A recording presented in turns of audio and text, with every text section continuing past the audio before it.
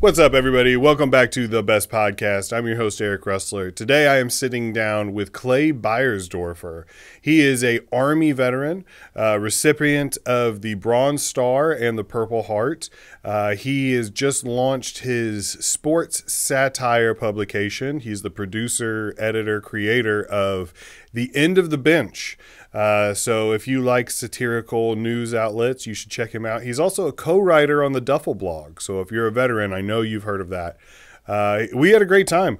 We talked about the military. We talked about movies. We talked about video games and just all kinds of stuff. We uh, we sat down for like two hours. It was a really fun episode. I know you guys will enjoy it. So check it out.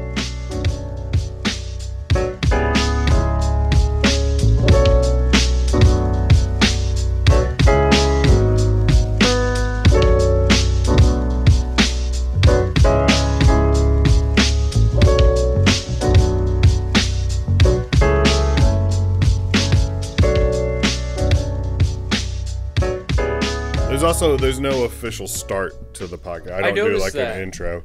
I, I film it separately because Yeah. I feel like uh, when you do it while somebody's sitting there, Yeah. it's like your one sheet. Right. It feels weird. Yeah, it's you know, awkward. if I was like, I'm sitting down today, Yeah. with with disabled veteran and war hero, you'd be like, ah. It's like uh, like a movie screener, you know, they do like the press run and they just have those very awkward interviews where they'll just sit celebrities and like just run every journalist from every publication who asks the same Uh-huh. exact questions. Uh-huh. What was your workout plan like for Captain America? And he's like, ah, push-ups. Push-ups. Uh, and then the next guy comes in. So tell me about your workout regimen. It's So, what are your hopes for this movie? Like, Yeah. I, did people like it? Yeah. You know, like, I, uh, okay. It's unusual um, stuff. Yeah. So, wait, you said that you got out in 2016? 2016 officially. I got uh, hurt uh, 2014, um, and it took them and the VA just almost two years to fully decide, like, hey, he's good. like, Yeah. he doesn't need to come back. We don't need this young man anymore. So I was just, yeah, basically sitting for almost like, like I said, two years, just collecting paychecks. Like, wasn't even on, like, I was on active orders technically, but yeah. That's kind of what I did. And I mean, not officially, but um, so I was, I was infantry in the Marines. Um, and I did two deployments, and then I got married and went to. Uh, I became a marksmanship instructor, which is like a I saw the non Yeah, non non deployable unit. Yeah. And I had two years left on my contract, Yeah. and they were just kind of like, We don't know what to do uh, you. yeah. and then when it came to the end, they were like, "So, do you want to try to Right. reenlist? Yeah.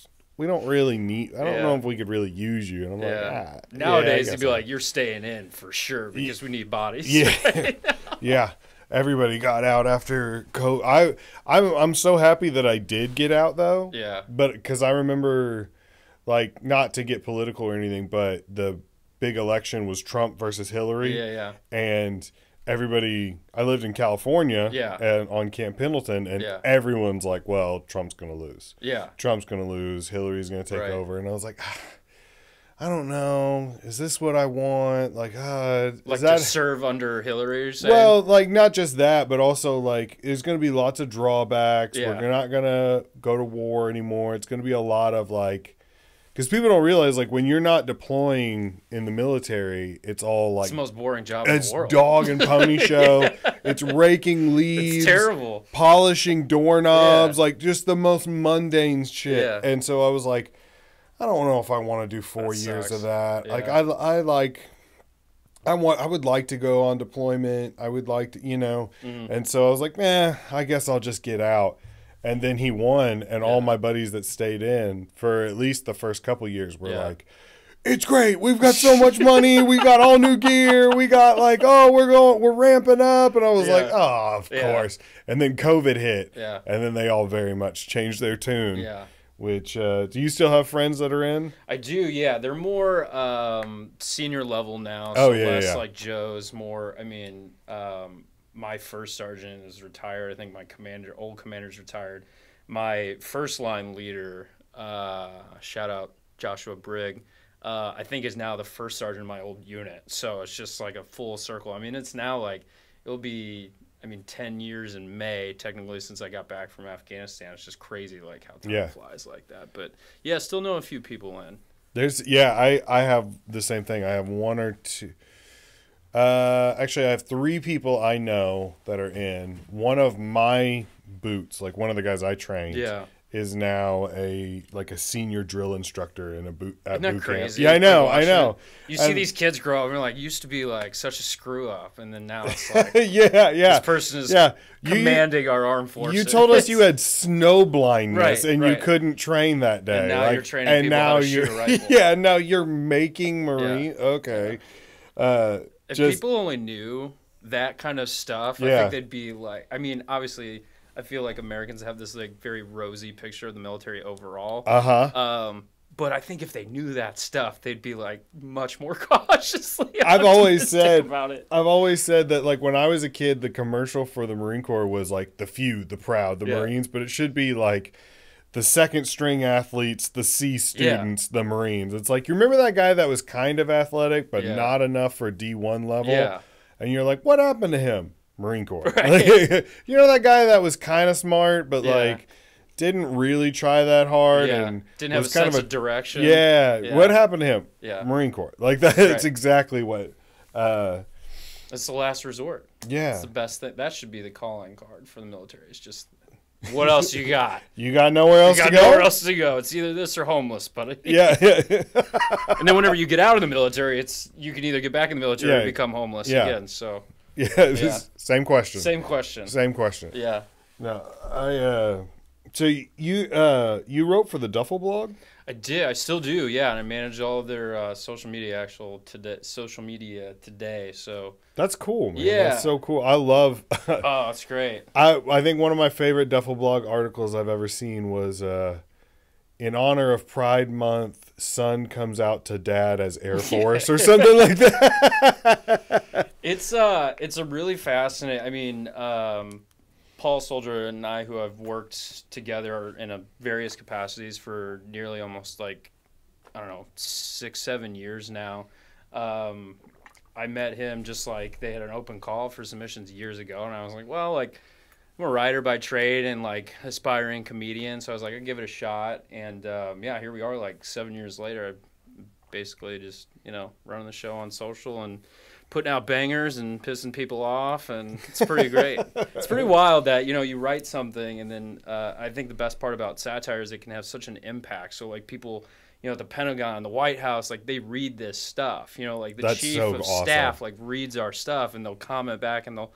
It's pretty wild, like to just know that like your stuff can have that level of impact. What was what what what is there like one article that you wrote that got like I don't know the most traction or whatever and you were just like this this, This, is the one yeah. that's There was um there's a couple that have been kind of recent. There was one that came out. I don't know if you saw. There was a letter that um, a group of uh, veterans published recently that came out and was like, "We're against the vaccine, like the experimentation on service members, blah blah blah."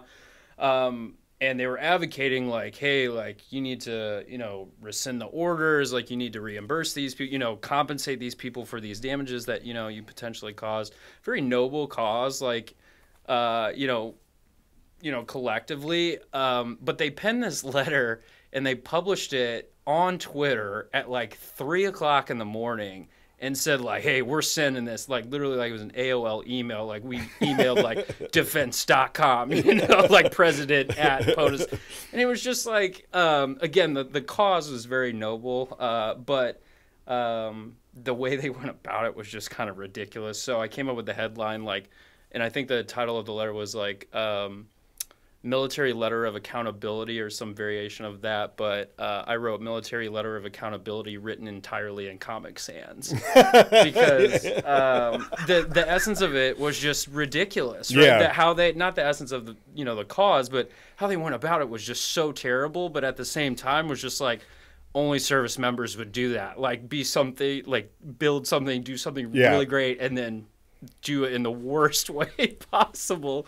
Um, so there was that one.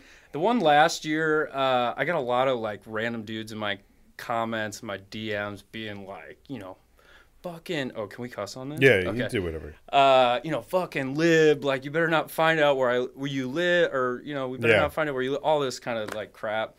Um, so there was that with that, and then the other one that was probably like the biggest one that I wrote.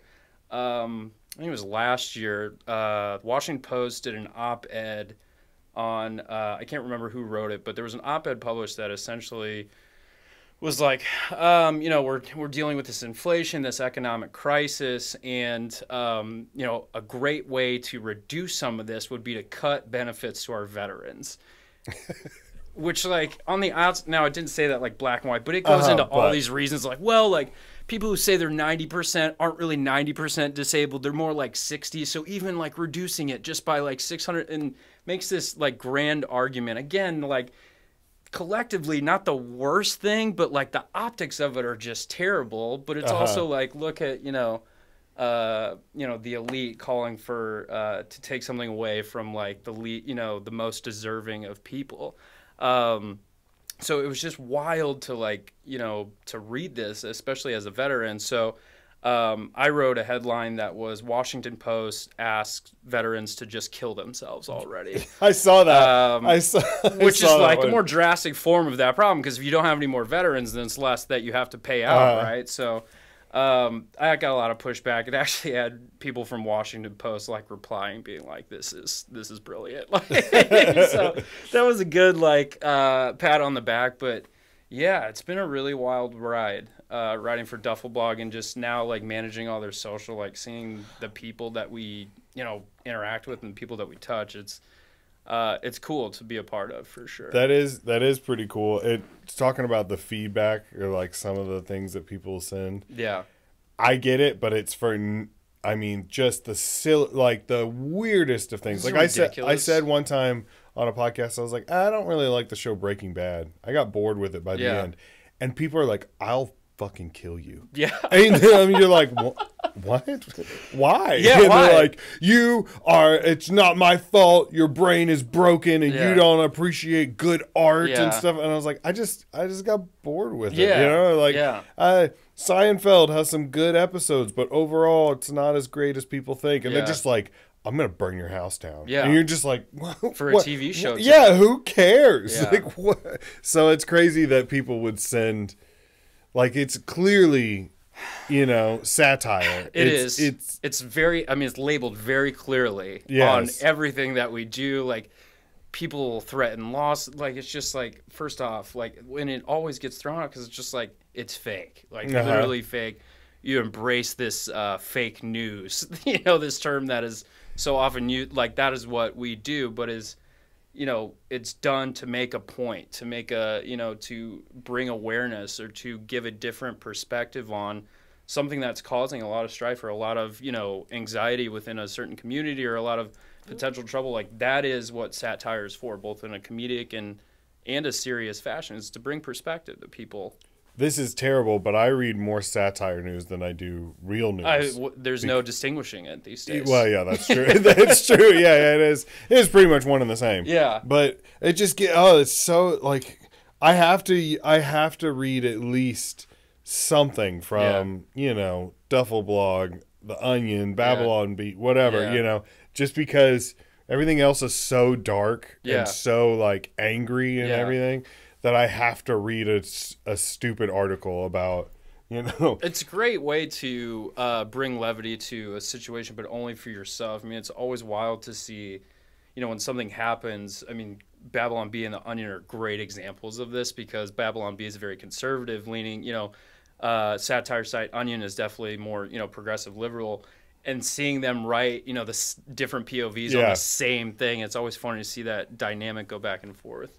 So tell me about uh, of the Bench. That's Yeah. the, in, this is yours, right? This is my baby. Yeah. You create, yeah. You're trying Yeah. to get it off the ground. trying to get off the ground. We are we are off the ground and running. Uh, yeah, I, I don't know. I didn't know. I didn't mean trying. I, I don't know why. I, I should have worded that differently. No, no, Uh, no. Um, yeah, end of the bench. Uh, it was a pandemic baby. It's a sports satire publication, so much like Babylon Bee or Mm. you know the Onion, you know, whoever. Um, we do just fake sports news.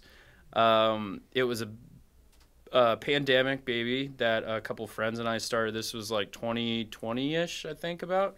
Um, and it started just as a way because you know uh, the world shut down, you know, and we were not able to go to mics. You know, people couldn't go to classes. People couldn't, you know, do a lot of things that comedians do. You know, that have to be in public and be seen. So um, it was really just a way to kind of, or it was just kind of a way to to have a creative outlet. You know, for people to write. A lot of the you know comedians that I work with are writers first and then there will be improvisers or you know sketch artists whatever you know stand-ups like yourself um, so it started as that and then it kind of just like took off really within the last like two years um, and it's gotten to this point where like you know 10,000 people are reading our stuff like four times a week and um, you know we're getting people within the sports community professional athletes and journalists who are now like you know sharing our stuff which is wild never would have thought that this little you know like newsletter that I started or that we started uh, would grow into what it is now. So it's it's really cool and we're really enjoying it. That's pretty cool. That is pretty awesome. man. Yeah. that is pretty awesome. Yeah.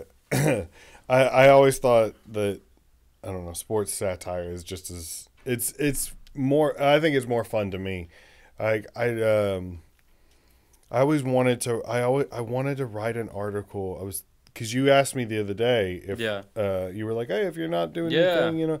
And I was like, okay, what would I write about? And I was thinking about like uh, Cardinal sport or Cardinal baseball. Yeah. And a couple years ago, they had the rally squirrel. whatever. And I was like, what if, what if the rally squirrel got tested positive for steroids or Yeah. something like that? You know, they had to call back runs because they're like he was on he was on performance enhancers. It could You happen. know, you know something something stupid like Yeah. that. Um, So let me get into a couple questions right it. here. Oh, here we go. Yeah. so this is a first. This is a, an absolute first. Yeah. Uh, you said that you have an obsession with applesauce. Applesauce, man. It uh, it was a again. I realize it's like the most ninety year old man take ever, but I love a good. And I was just talking with somebody about this Saturday or last weekend.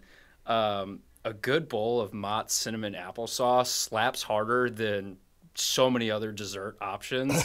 and I like again. I know that's very senior citizen of me, but ah, it's the best. It's the best. I okay. So what? Applesauce. yeah. I. I don't know. I don't. I've, you say you keep saying it's a ninety-year-old man thing, but I've never seen. I don't know. I don't think I've ever seen anyone over the age of eight be like, "Oh man, I, I think I want some applesauce." Like my son, like the one in the middle. I was gonna say which one's the best, but you definitely. I mean, None of these for you- sure. no, Mott's. I think that says no sugar. no sugar, added. which is like not even applesauce. No, Like, again, I go for the worst imaginable kind of oh, applesauce. Oh, okay. Like it's so you want the flavors. I want the flavor. Yeah, Okay. Yeah. Have you ever had the go-go squeezes? Uh, They I come had, in like nine different Yeah, flavors, so- and it's just all sugar. we but- were talking about that too over the week. We had a very discussion, very big discussion about applesauce. Um, but they were telling me that they come in like carrot or like um, like strawberry, and, Yeah, like banana. banana. Yeah, and then we got into um, this whole discussion about like other foods that were like in tubes that you know are Uh-huh. good to eat. We were talking about go-gurts. Do you like go-gurts? I- Are you a go-gurt fan? I do not like. I wasn't Go-Gurt. a Go-Gurt fan either, and that was apparently a hot take. Like everyone loved him, but it I- tasted terrible to me. So I'm a, I'm very weird. I don't like. I don't like soup, or stew, Yeah. or broth, and I almost put applesauce in the soup category, which I know it doesn't make sense, but Yeah. that to me, when I think of applesauce, I just think of like a spoon, and it's.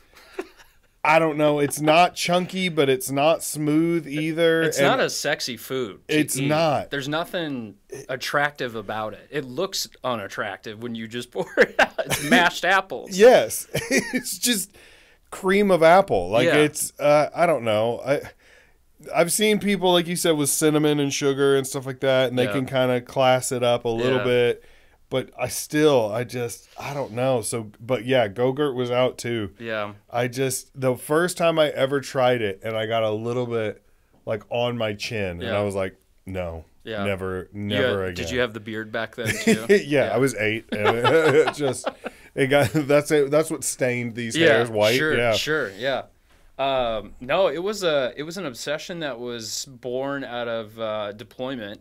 Um, I mean, obviously, you know, like Uh-huh. you know, church groups, like um, you know, family organizations, Uh-huh. USO. They'll send these, you know, giant crates of care packages and stuff to you know fobs, to outposts, to cops, um, and at, you know, in Afghanistan in 2013, 2014, when I was there, that was all that we would get is these, you know, big packages, but they would have um, uh, non-perishable food items uh, like applesauce. So it was really just like I needed something. Like it was always just like there because nobody else was like eating it.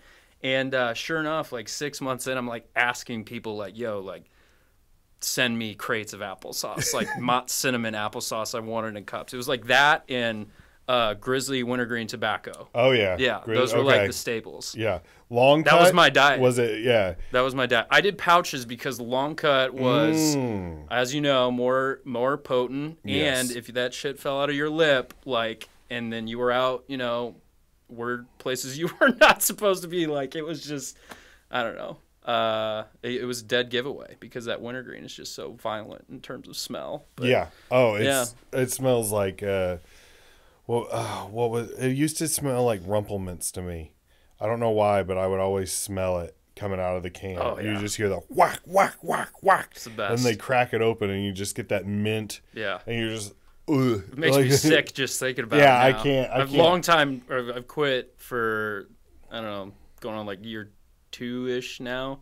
And I say two ish because of like you know I still have a drunk at night where I'm like Yeah. ah. Yeah. Oh, why not? I just throw one in here. I went on a bachelor party like last month and I you know got a little, little tuned up and I was like mm, you know Why not? I'll just bring a can for the trip. And sure enough, it was it just came in so. I probably won't even touch it. Probably won't even touch it, Probably yeah. won't even need Yeah, it. Yeah. then, like five minutes into the car, you're like, Yeah, give me that. Oh, it's so bad. It's so bad. But uh, yeah, those were my staples. It was Grizzly wintergreen pouches and uh, Mott cinnamon applesauce. I uh, I actually enjoyed Red Man. Oh yeah. yeah. I don't even know if I'm allowed to say that anymore, but Your It was- tobacco's racist. yeah, yeah. But it was delicious. It tasted like grapes to me. Yeah. and and uh, like that's and then I found out later like oh no no that's like the hard stuff. Like Yeah. that's the pure stuff. Yeah. like you're probably better going back to. Uh, I'm glad I I'm glad I stopped before Zyns came out. Oh man, are you, you- a big Zyn guy now? No, I can't. I, I won't even touch it. Yeah, I'm like, you'll I, know. I know. Yeah. Yeah. I've heard I will do them uh, every now and then when people just have them, you know, be out on the golf course or like Mm-hmm. I'm just reeking privilege right now. Um, be wherever and uh, you know, people are like, hey, you want one? And I'm just like, ah, try it. I don't feel like I get the same like buzz that I would from like tobacco or like a pouch, but like they're nice, you know. they look nicer. Like Zyn, the methadone of pouches. that's basically what it is. Yeah, like, well, it's, it's, like all a diet but- form. Like I went from Coke to drinking Diet Coke, essentially. Yeah. Uh, but they say it's be- I don't know if they say that it's better for you, but it's supposed to be better for you. Less habit forming, maybe. I don't know. I carried around. They came out with coffee pouches. Oh, I saw Grinds? those. Yeah, I love. I those. do remember those. Oh man, I remember those. That was a good step down Yeah. because it still tasted like it tasted good, and you were like, all right. Yeah. And it had the same like feel, you know, in your lip. Oh yeah, It's that was one of the hardest. The burn, parts. Yeah. the burn is what gets you because it's like you hate it after because you're like, oh, like I can feel the cancer like setting in. But then when you're doing, you're like, oh, that burns so good. Like, What? I, you were talking about getting care packages sent Yeah, to you, yeah. and it, I before I forget, I wanted to say like yeah, best best care package that we ever got yeah, was we wrote Taco Bell a letter, and we were like, "Oh, we miss your food," and Yeah. they were like, "Obviously, we can't send you Yeah. food; it'll go bad." yeah. But they just sent giant uh, boxes of sauce. Oh shit. Like fire sauce, Wow. mild sauce, like everything, and What'd we you were, put that on? everything. I mean, every, everything. We we would dump it in bags of flaming hot Cheetos. Yeah. We would dump it on an MRE. We would dump it on you know all kind, just anything and everything. Yeah. and and that's what we that's what we wanted. Uh, It's good it was- stuff. that was the best. Man, that was a. It was so crazy how simple that uh, life was. You appreciate the things. Yeah. Uh, I remember.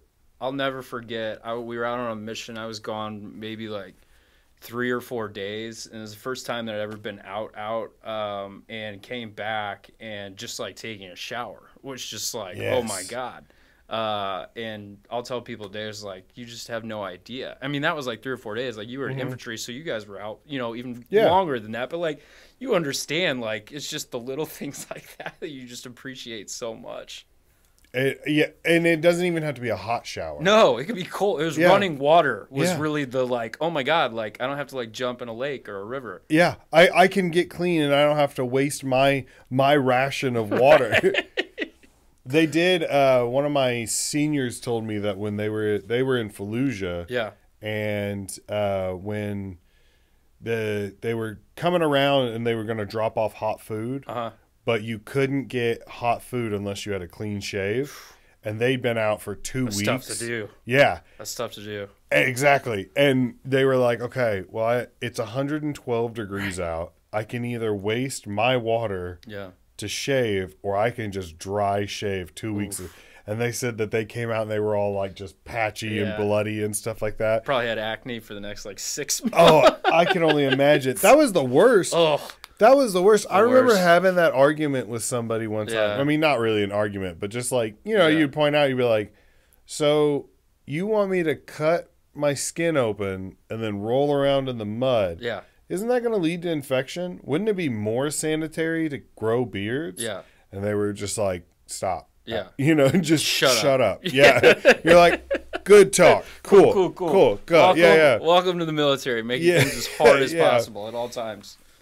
All right. I was going to ask this because I read your article. I mean, best pet. This is a no-brainer. It's a bulldog for sure. Yeah, I changed. So I changed out the picture to a bulldog on purpose, just because I know you said you had a dog, I do. a bulldog. I do. His name is Blue. He will be. Uh, I don't know when this comes out, but he will be uh, ten in like a week, which is crazy. I oh, got him. nice. Uh, I got back from Afghanistan May 21st, 2014. I got Blue, I think June, like first week of June. He was like 15 weeks old. Uh, so yeah, he's been with me through quite a bit and like nearly 10 years now. That's so crazy that Yeah. that's been ten years. Already. 10 years is a long life for a bulldog. So we're very much entering the uh, the quality of life. Twilight hours. yeah, yeah, like he's moving very slow, but yeah, he's my he's my best buddy for sure.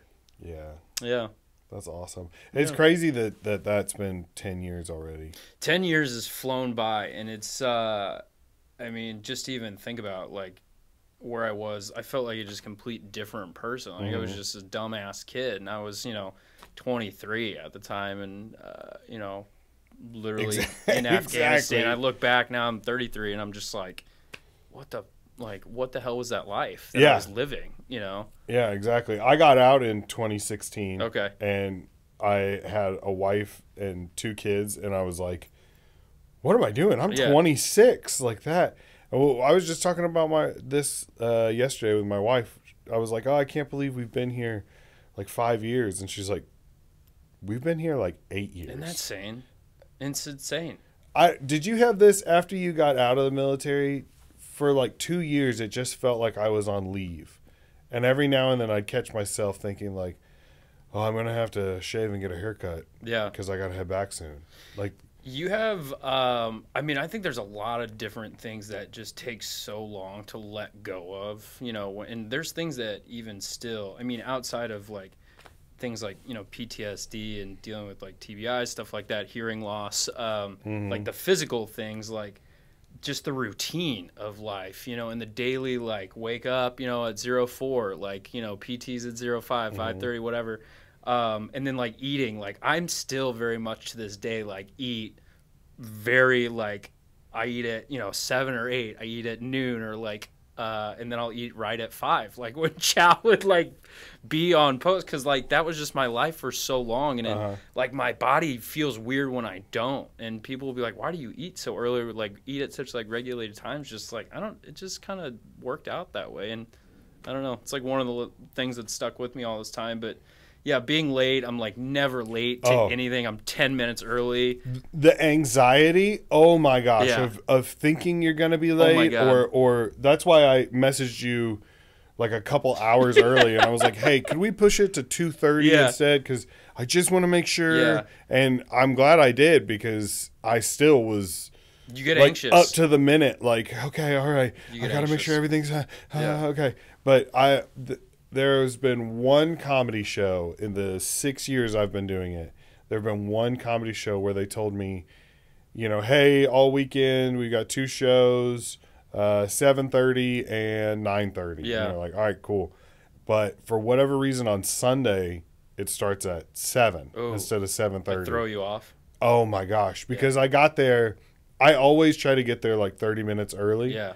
And so I got there at 7 Yeah. thinking 7:30. Yeah. And the guy just went like, "Oh, there you are. Okay, cool. Cutting it close." And I was like, "Wait, what? What? What do you mean cutting it close?" Yeah. What do you mean? I'm 30 minutes early. He's like, "No, it, Yeah. we're starting now." And I was just like, "Oh, okay." Uh, uh, uh, and I like instantly forgot how to do stand up Yeah. because I was so panicked that I was almost late. Not even late, almost late. It's terrible. It throws you off. Um, and it's wild because like I think this innate sense of like time uh, would be—I mean, life would be so much better if you could just learn to let it go. But I don't know if I'll ever get to that point in my life where I'm just like, I have to be early. Thing. It probably drives my friends crazy because they're very like casual. One of my best friends in the world, Max, is like like consistently late to everything Uh-huh. and he and I we don't like fight about it but he knows it drives me crazy and we're two total like you know polar opposites in that regard but I don't know if I'll ever be able to get to his level where he's just like I'll get there when I get there Gr- great guy one of the best guys I've ever known in my Uh-huh. entire life and he just has this awesome attitude of like I'll get there when I get there you know Yeah, i Oh my gosh, there's like seven people in my that come to mind when Yeah. you say that. But Yeah. there's there's especially comics. yeah I don't. What is it about comedians that you're like? I think I think it's it's great when you go to mics too because they'll be like, oh, like sign up starts at six, and you'll have people rolling in at like six forty. You know, show starts Yeah. at seven. You'll have people rolling in at like six forty five, being like, yo, can I get on the list? And it's just like. Sign up was 45 minutes ago. Like, you're 50 people deep now. Like, what were you expecting? And then, you know, they turn around and get mad. Like, why didn't I get on? It's like, well, you know, you're here 45 minutes. I think it is, though, like, there's something to with like the stand up lifestyle for sure. It's very late night, right? So Mm-hmm. I think people are just naturally sleepy, you know, so they're like constantly just operating like a little slower and like behind. Um, running on like cigarettes, cocaine, and alcohol, like Yeah, at all hours true. of the night, Yeah. so they just lose, you know, all sense of time. But uh, not necessarily around here, but um, yeah, it's it's different. It's different. Improv people are always on time though, because they never want to miss a performance. I've noticed that. Really? Yeah, stand up people are always late. Writers are just you know free birds. They just come and go as they please. Improv people are never late. Hmm. I, I- I, I've never noticed that before. Yeah. I don't. I don't. I haven't spent a lot of time with improv. yeah. I've always kind of had this. I don't know. I guess it's a controversial topic, but Oh, here we go. But uh, yeah, improv's kind of like uh, pineapple on pizza. Oh, you don't like it? Well, it can be done right, Yeah. but most of the time Yeah. you're like, mm. Are you one of those people that's like SNL hasn't done anything good in like no, years? no, no, no, no, Yeah. no. Uh, I, I haven't seen SNL in a while. Yeah, But I do catch clips occasionally on Yeah. Instagram, and a lot of times I'm like, "Oh, that's pretty good." yeah, But I haven't sat down and watched like a full episode in Yeah. a long time, and I don't know. I I feel like uh, anybody who's like, "Oh, it sucks now," blah, blah, blah, it's like I I think you just want it to suck. yeah. It's it's weird because there is this attitude of like, oh, SNL is like not what it used to be. You know, it says people who were not even alive, like when like Dan Aykroyd and like you know John and the Belushi's were Yeah. like involved, like Chevy Chase, like you weren't even alive. So like, what do you know? The other part about that, and I think what people don't realize is like for all the um, you know the the great time sketches like you know church lady or van down by the river or like you know sweaty balls like those are three to four minute sketches out of hour long present you know Yes. presentations so Yes. they're picking one clip and basing every future episode off these incredible performances it's like no for every you know church lady van down by the river there is there's a hundred shitty sketches that Uh-huh. never saw YouTube or never seen the light of day. Exactly. And now you have this new age of fans who are coming into this, and you know, social media and obviously, you know, the internet has changed a lot. Um, but Bless you. Thank you. Sorry, I was Uh, trying to do no, it. you're good. I I saw that scrunch face. I was like, he's either taking a shit or about to sneeze. So Wouldn't that be? that would be a podcast first. Yeah, yeah, Yeah. yeah, That would be right as you're talking about SNL. I'm just like, oh Uh, no! yeah, just I just lose. I just lose the battle right yeah, here. yeah. Um, but yeah, it's it it bothers me when people are like, oh, SNL isn't as funny as it was. The other thing is too is like living in those eras. I don't think people probably even truly appreciated the great talent in that moment, right? So like for people like Tina Fey, Amy Poehler, um, you know, again, a, you know, Chevy, Belushi, whoever, Dan Aykroyd. When you're that year, you know, these people are just on the cusp of making it big, and I think that's what people don't realize is like Saturday Night Live stars are big, but they're still very much working on their craft. And this playground that you get to witness every Saturday night is a live audience. They get to do their job once a week. And you're telling me that like, you know, they need to nail it 100% of Yes. the time? Uh, like yeah. imagine someone coming to your job which you get to go do every day and be like you weren't 100% on today. Like the amount of pressure. So it's crazy. I could go on that soapbox forever. It bothers No, me. no, no, no. no. That's fine. That's Yeah. perfect. I agree 100 percent because when you you talk about some of like the famous like all time sketches, Yeah. nobody remembers the sketch that came right after No, that. Like no. Van Down by the River. Yeah. What came after Yeah. Van Down by the River? It's insane. You you can't you can't know and you can't. T- it's just Yeah. It's a whole other thing for me. But I still very much uh, enjoy Saturday Night Live. I tell people who are kind of new to it, go into every show hoping you get two or three sketches that legitimately give you a belly laugh. Right. Yeah. Like no matter what, it's just like you get ten to fifteen minutes out of an hour long live presentation. That really stir your soul. That really make you like, oh my god, that was funny. I mean, the same could be said for sporting events. I mean, look at a baseball game that's three hours long. You're telling me every minute of that three hours? I mean, have you seen Lance Lynn pitch in a baseball game? It's terrible.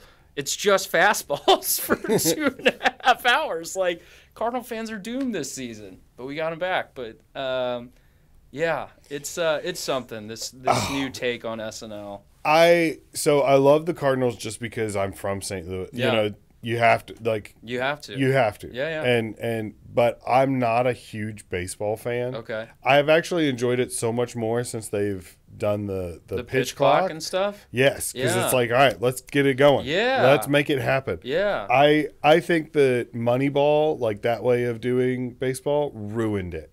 Really. Yeah. Okay. Yeah, I argued with I. I like to give my father-in-law a hard time sometimes, and I tell him that Like any uh, good son-in-law should. Yeah, and I tell him that baseball, baseball was just invented for math nerds to get sunlight, and I'm like, that's the only reason, because every time he starts talking about, you know.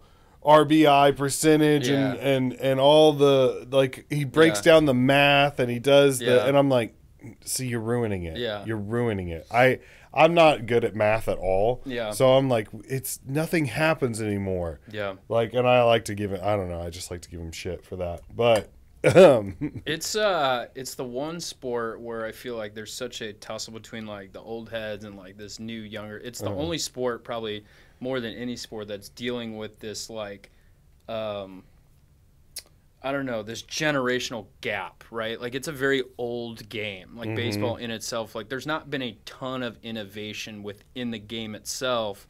I mean, the pitch clock like was the biggest thing that's happened to the actual game of baseball in so long, right? and didn't they change the size of the bases? And the too? size of the base. Yeah. I mean, the size of a. That's where we're at in sports. Like Yeah. people are freaking out about the size of the base. Like that's that's the big thing that's changing this game. So that shows you just how much has changed in this very very old game. Where it's like, I mean, the NFL stuff changes every year. There's a new kickoff rule. They're already you know reconsidering you know reverting that rule. The Super Bowl The this year. Super Bowl, yeah. I mean, Yeah, it's they, just they they were like, we actually didn't know the rules. Yeah, I mean, it's, overtime. it changes constantly. It's more of a fast game. The other thing with baseball is it's such a slow moving game, so it doesn't fit this new era of sports fans who are like, I need my content in five seconds or Yeah. less. Like, I need to be able to watch it mobily. So.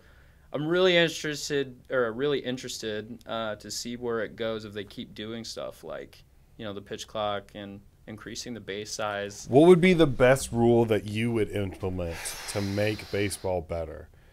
they should have an actual pitcher's duel. Like they should have two pitchers duel to the death out in the middle of the field, and I think that I think that would bring in fans. Okay. Like if you made baseball like Gladiator, people would watch. Like if you had two pitchers from opposing bullpens just coming at each other with lances and everything, swords, I think that would draw fans, What if new and old. what if uh, if a pitcher hits a batter with the ball Yeah, and injures them, yeah, it takes them out of the game. uh huh, So now, if your shortstop yeah, got beamed in the side of the head, now you have to. Now your team, when it's in the outfield, Uh-huh. has to play without a shortstop. Oh, kind of like a dodgeball, like knockout Yeah, type kind of. scenario. Yeah. Okay. So you have to either be like, no, no, no, I'm good. Yeah. I, I've got a broken hand, but I'm good, and still play. Or I don't know. That's just off the top of my head. So I, it's kind of like dodgeball, but it's also like soccer. Like if you get a red card, like you just don't get to replace somebody. Like Mm-hmm. okay, that would be interesting. Um, longevity for players would be, oh, it would diminish. long, It would. yeah. It would. Um, but I could. I mean, would I just could be see murder it. ball It would be I murder yeah, ball. yeah, That's yeah. the solve for any sport. Just make make it more murderous, and people will sh- make it more violent, and people will show up. Well, at- actually, I I said this about basketball the other day that I think they should reverse the point system, where the three point line should now be one point. Yeah. Anything from deep Uh-huh. is one point. Yeah. Anything like uh, inside of that is still 2 Uh-huh. But if you're doing a layup or dunk, it's worth three points.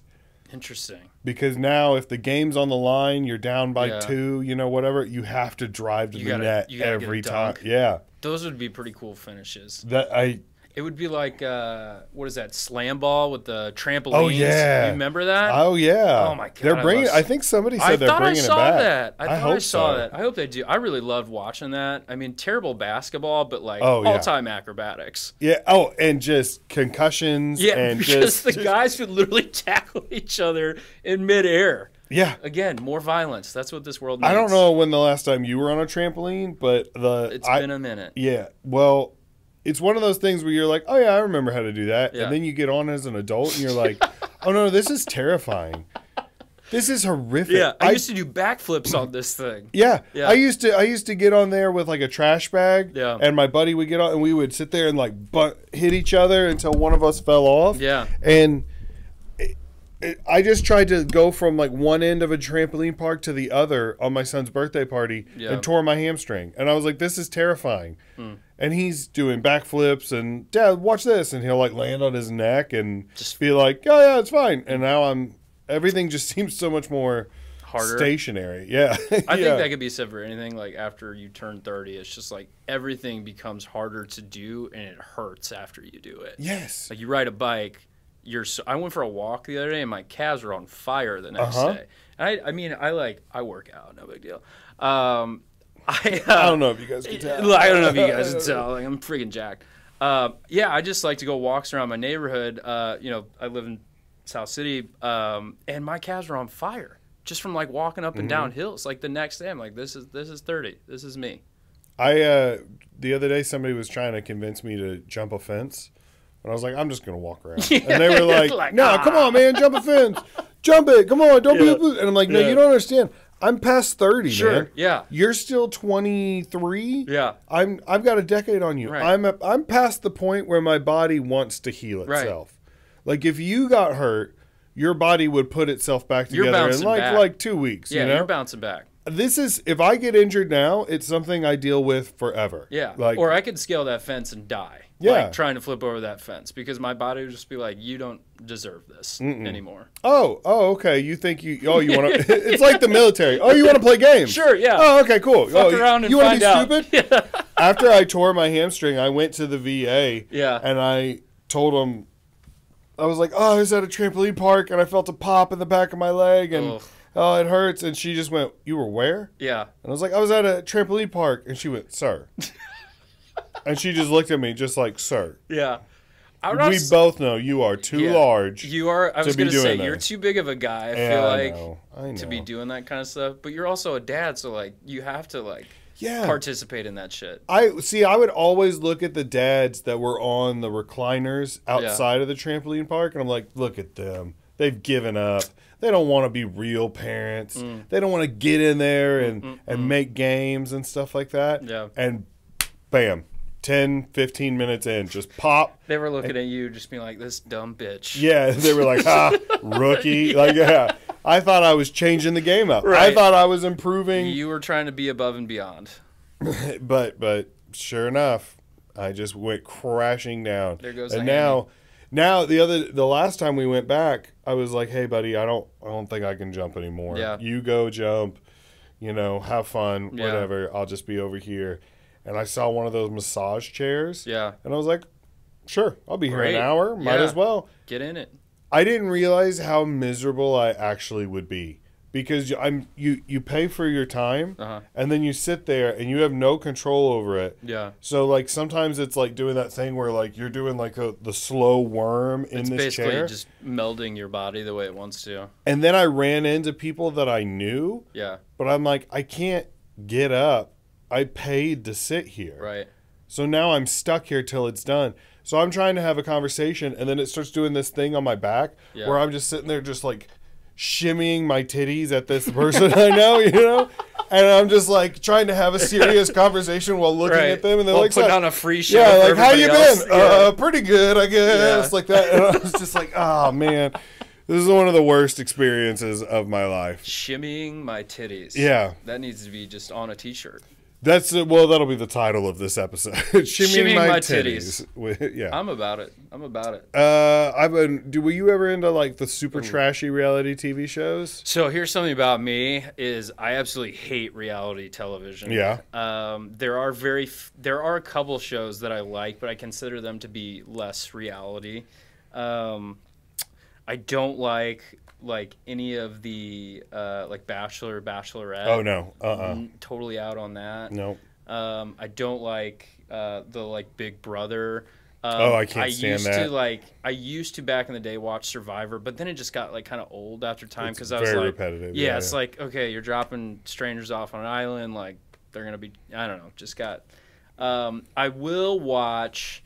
Um, I will watch stuff like Love on the Spectrum, which I really really like. I was like shocked about how much I got Yes. into it, but like that show is so freaking wholesome. Like it's impossible to walk away from. the Australian version. It's is unbelievable. So much better. It's unbelievable. I loved it so Yeah. much more. Well, that was I. So I watched the U.S. version, then jumped right into it because I was like, I have to have more. Well, I was hooked because so I have a nephew named Michael mm-hmm. who was born in Australia and. Okay. he has an Australian accent. Okay. So the very first episode when you meet Michael, he's like, "Hello, Yeah. I'm Michael and I have Asperger's." Like Yeah. that, I was like, "I'm in." You have a really good Australian It- accent. well, I've been around it. Sure, yeah. yeah. Okay. I I can sometimes I have to like pull my nose and then Yeah, I yeah. slip in. No, Uh, no. I was surprised at how much I loved uh, Love on the Spectrum. yeah. I didn't. I didn't think I would. I like Same. when I first turned it on. I was like, "This is mean. Yeah. What are we doing?" And then I watched thirty seconds, and I was like, "I love all of them so much. Yeah, and I want you- all of them to find want happiness." all of them to find love. And now I'm like following them on Instagram. Uh, the guy James with the long blonde hair. Uh, I never even thought to look them up on Instagram. Solid Instagram follows. James, uh, do you remember he was the guy with the long blonde hair? He was a little bit nerdier. He was like into fantasy kind of sci-fi. I think stuff. so. Yeah, yeah. Talked very eloquently, but very very fast. Great Instagram follow. Just provides insight, just on life and like shares his experience. But yeah, it, I I was very much in the same boat. I'm just very early on. I like had heard about this show, and I was a, obviously like very late adapter to it, but I was like, what are we doing? Like this is very like, you know, what level have we gotten to that we're just Uh-huh. needing to like you know create the but. You know, you watch it and it's like, no, they, these are stories that need to be told. Um, And I think that stuff is a lot better than these like dating show crap where it's like very performative, like very like um I mean it's not even reality because it's all acting. I mean all these individual crazy people might as well write their own scripts.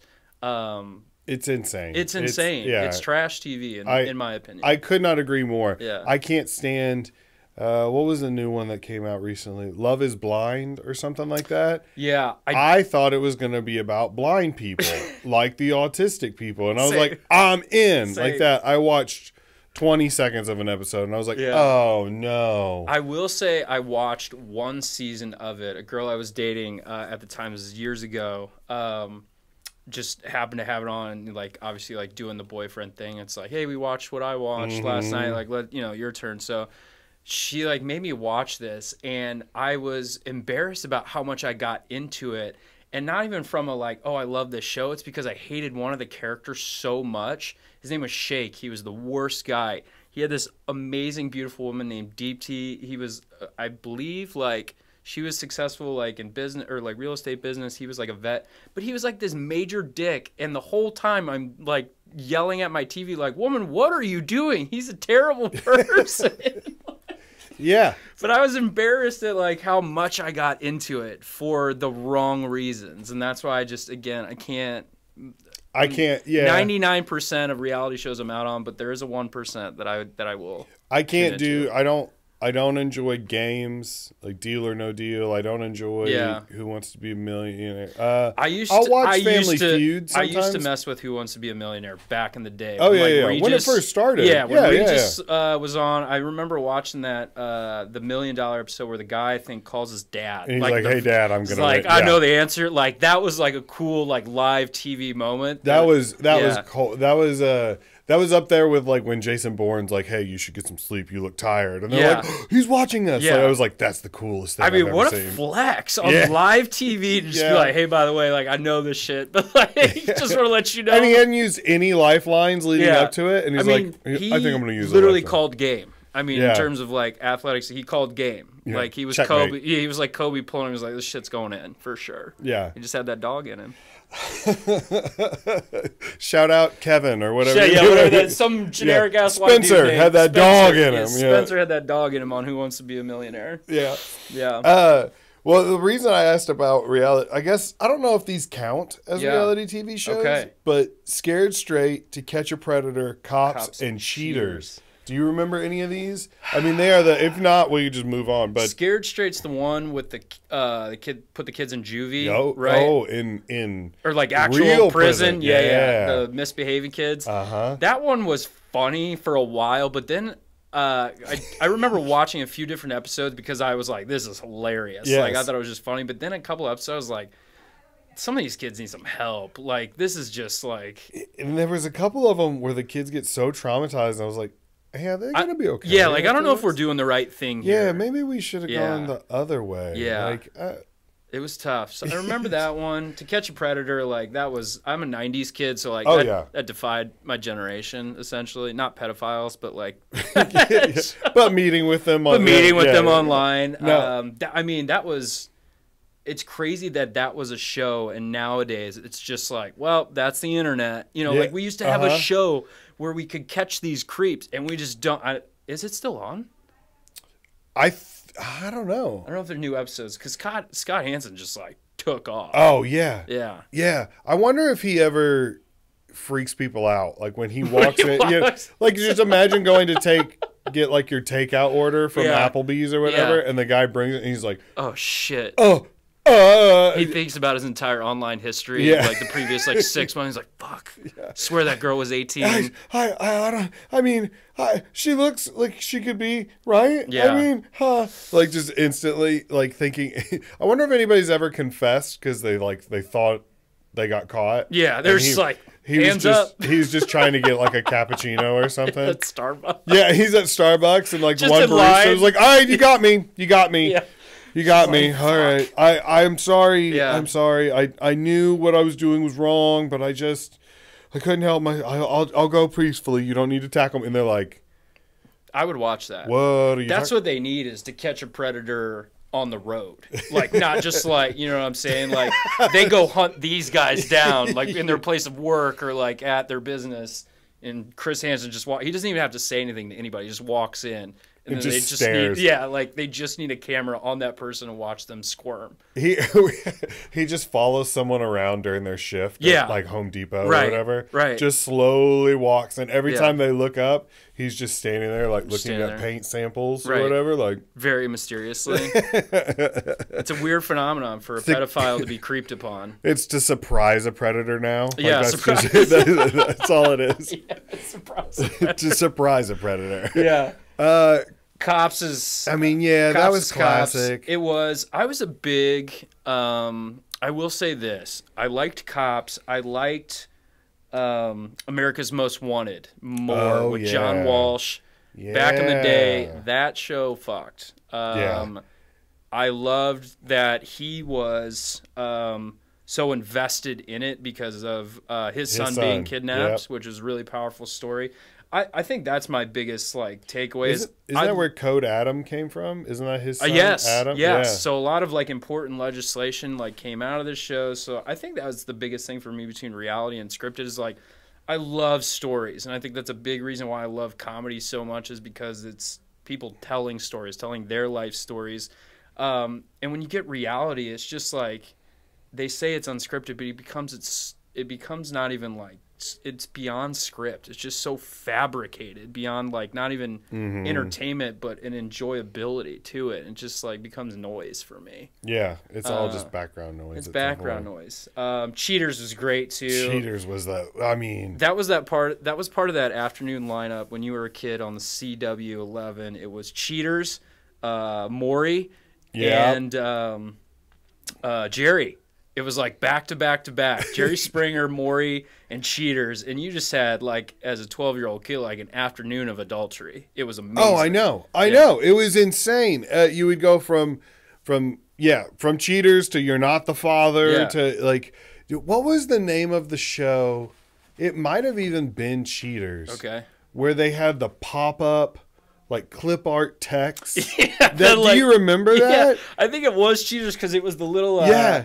Like magnifying glass that was like broken or Yeah. with the broken heart, and be like, Daryl fucked up. Yeah, yeah, yeah, yeah. Like Daryl's wife just caught him fucking someone oh. else, and you'd be like, "That's a good fact." Like I Yeah. wouldn't have known that unless they wrote that down. Whoa, yeah. Like my twelve-year-old brain couldn't have put that together. I always like when they gave them like the word, the thought bubbles or whatever, Yes, and it was like, oh no, Yeah, like, I messed up. Like imagine get you, it's like your most embarrassing moment ever live Yeah. on national television, and then they have Windows ninety six clip art just popping up like like a, a sad bear, like Yeah. "Hmm." just a little, uh, the little clippy art guy would Uh. come up. and be like, the paperclip. The paperclip Looks like you got caught cheating. Looks like would you, you, got, need yeah, some would help? you need some help for that? Command Shift Five to like backtrack. No, um, those were all. I mean, all great shows. They were definitely. I will say, I watched a lot more of that when I was a kid because we just had basic cable, so like it was Uh-huh. on.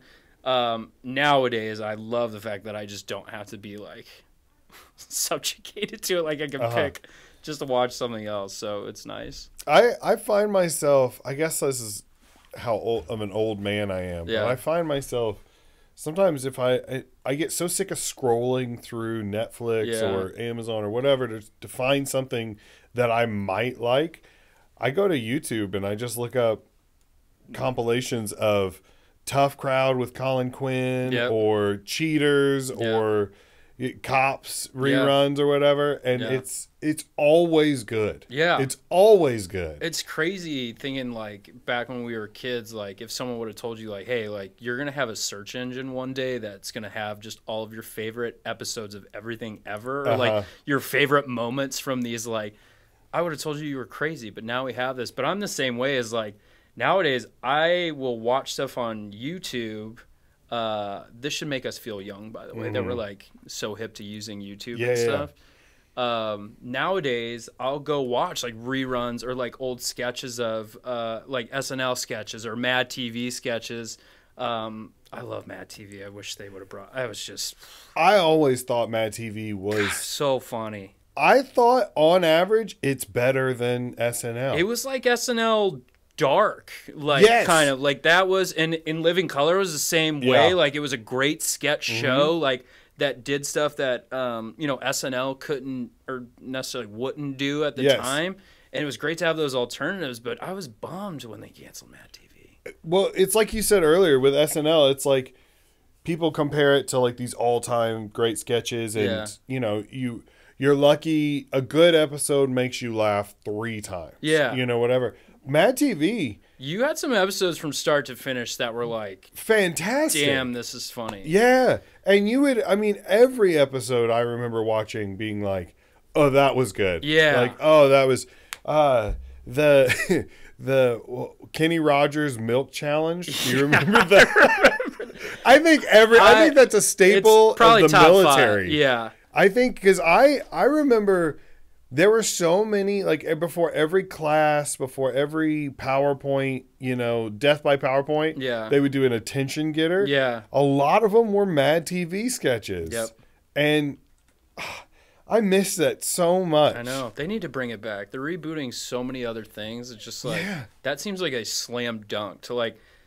I don't know what network is gonna like realize like there is room for another live sketch comedy show. It actually surprised me that Fox has not done one, considering they're so anti like, you know, progress. I mean, they're a conservative ne- network. The fact Yeah. that they've not done one yet, but they'll trot out Greg Gutfeld, you know, every night is just like beyond me. But I feel like they're all about animation now, right? Yeah, they do really well. their- They do really well there. Um, but uh, Fox is just an example. Like HBO, like you know, Uh-huh. could do it. Max, like especially with these streaming services, like consolidate. Like Disney, like why do they not bring back like a sketch show or like a big sketch show for me that I grew up with was all that on Nickelodeon, Yeah, which yeah. is like my very first sketch show. I'll never understand why all that when it was all that great. the Amanda Bynes show. oh my like- god, Clarissa explains it all.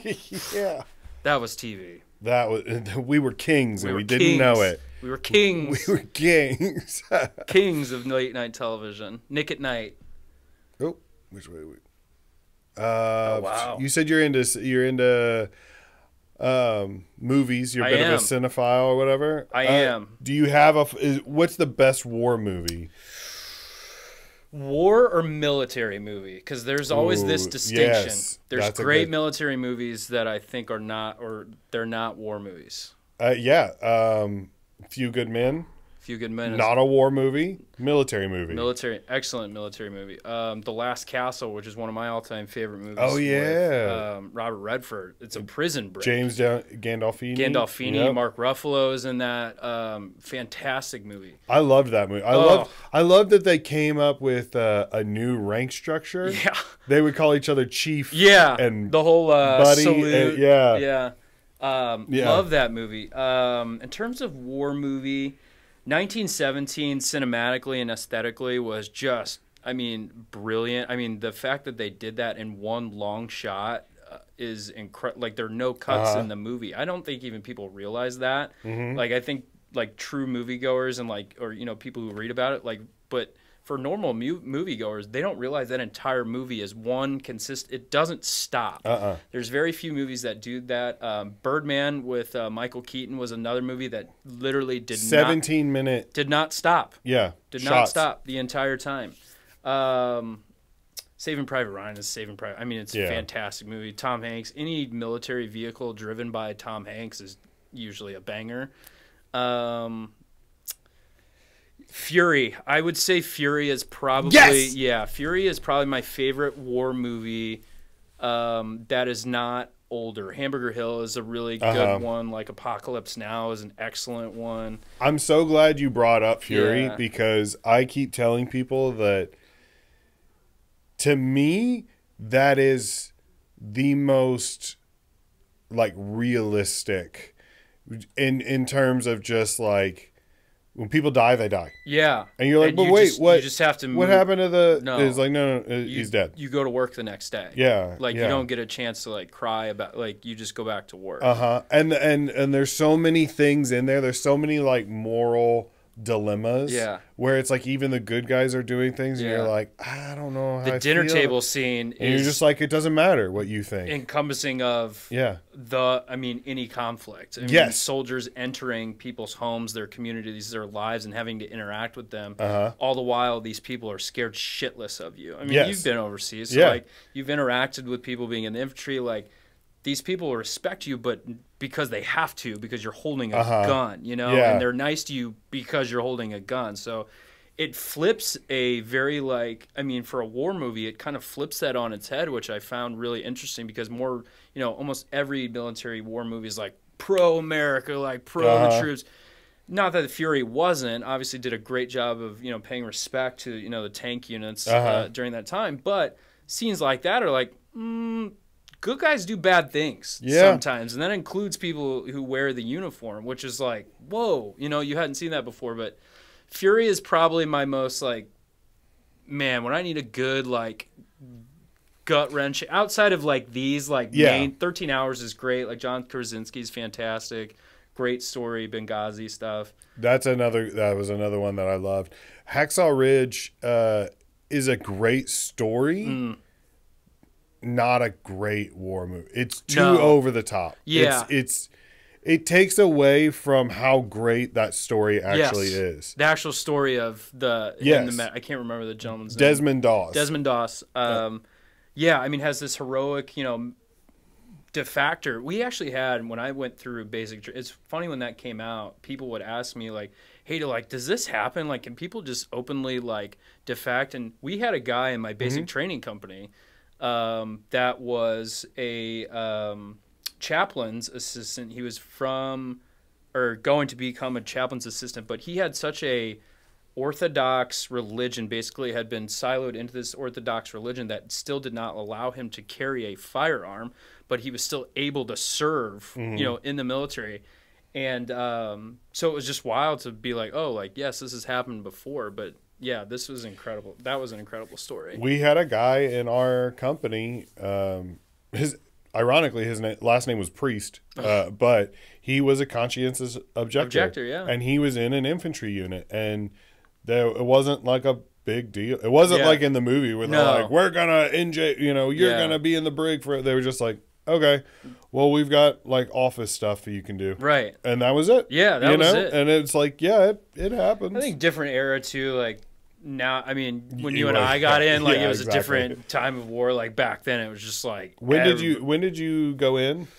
So this was I got in 2011, January Okay. 2011. Got out uh, 2016. 2016, Yeah. or excuse I me, was- uh, no, yeah, 2011, 2016. So Yeah, I was two, 2010 to 2016, so basically the same time. same period. time. Yeah, We were crossing paths and didn't even know it. I loved. Uh, but back to Fury Yeah. is that uh, the the military side of it is is it shows you a side you don't normally see. Yeah. but it's also got a great like war side to it, battle side of it. Oh, and they come over the uh, to the top of the ridge right there, the top of the Mm-hmm. cliff, like that. It's like a half hour straight of him just running around, like uh huh. yeah, it's crazy. Yeah, yeah. I love. I mean, in the, the there's a scene where like a German officer is like, "We're gonna skin you alive" or whatever. Yeah. And Brad Pitt's like, "Shut up and send me more pigs to Yeah. kill." Do, do, do, do, do. And that so you still get your dose of like America, Yeah. you know. But it's oh I love that beginning scene where it's very just quiet Oh, yeah, and it's the like, horse. and he just comes out. yeah. Like holy shit, that sets the tone for the whole movie. Uh, and then immediately he's like, he hears bombs coming. He's like, "Whoop, rain's coming!" And Yeah. he like closes, and it's just back to business. And what know. a what a crew! I mean, Yes. Shia LaBeouf, Jon Bernthal, Logan Lerman, uh, Michael Pena. Like, yes. unbelievable. Just like those five guys, just having to create, like, recreate this moment. I can't get over. I can I could not imagine. Did you ever get inside of a tank? Yeah, not uh, driven around, but I've been inside one. Yeah, Yeah, same same thing. Yeah. Uh, we just got to like get inside and like look at it and Yeah. stuff like that. And these are the you know big Abrams. Them they were huge. Yeah. and inside very tight quarters. very tight. compared to a Sherman from World War II, where all five of those guys been- slept. They would sleep in these things, which is Ah, insane. Insane. which is which is I, that's not unbelievable to me because I've seen I mean people in the military can sleep in Oh, any yeah. position you get them in Yeah, yeah, yeah. you know and I like you find a corner you could kind of prop yourself up and fall asleep standing up Yeah. maybe not even without that much difficulty Yeah. so yeah I, I believe that they were sleeping in there but man I can't imagine and now um they've gotten rid of them. They yeah, I know. Now we have these like up armored SUVs and just different time, man. I know. Everything's done by drone. End of an era. I know. Uh, which that's scary. It's scary to even say that like we were in a different era than what it is now. Like ten, how Uh-huh. fast it's moved in ten years. I mean, a, a military conflict and how battle is done. I mean, cyber warfare was like it was a thing, but like nowadays it's Yeah. just so commonplace. I mean, the amount of cyber attacks and the amount of stuff that we deal with uh, is a complete different level than it was during Iraq, Afghanistan. You know, I remember meeting a couple Marines that were like, "Oh yeah, we're we're pretty much specialized in cyber warfare, protect or whatever." And we're like, "Nerds." Yeah. All right, whatever, dweeb. You know, like that. And you just like, ha, whatever. And now Yeah. that's like the most Yeah, one of the most important job. things. It's Yeah, it's, it's job. an insane job. it's a kick-ass job. When I was when I was a marksmanship instructor, I trained a recruit who uh, was he was going to become a drone pilot. Yeah. And I just remember looking at him like, you're going to have so many confirmed kills. Yeah. Like, and I just remember looking at this kid like, I almost felt bad for him in a Yeah. way. Like, It's weird. um, I knew one drone pilot, um, not super well, but he would just be like, he said very early on it was tough to get to because I mean drone again. I don't think people realize like how drone operators. You go to a, Connex that's about this size, probably Mm-hmm. Yeah. smaller. It's a box, like just in the middle of a parking lot essentially.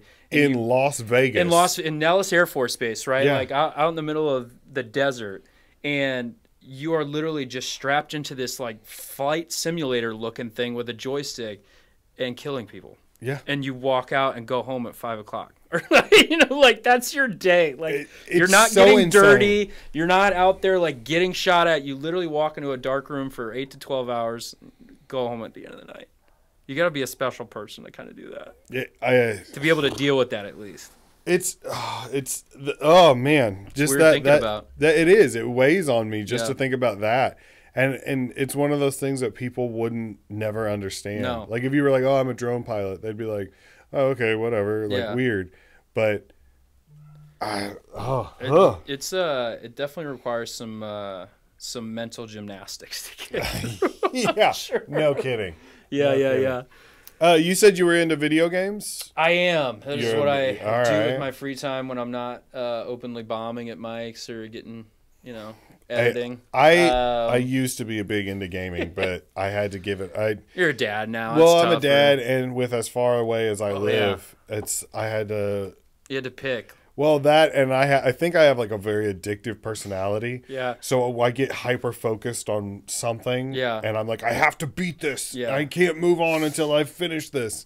And so I realized very quickly, I'm like, well, it never ends. There's It- always a new Call of Duty. There's always really a new is. bundle pack. There's always a new. That's how they get you. Yeah. And so for baby. pe- people like me Yeah. that are like, I'm almost done, and then it resets, and you're like, I gotta start over.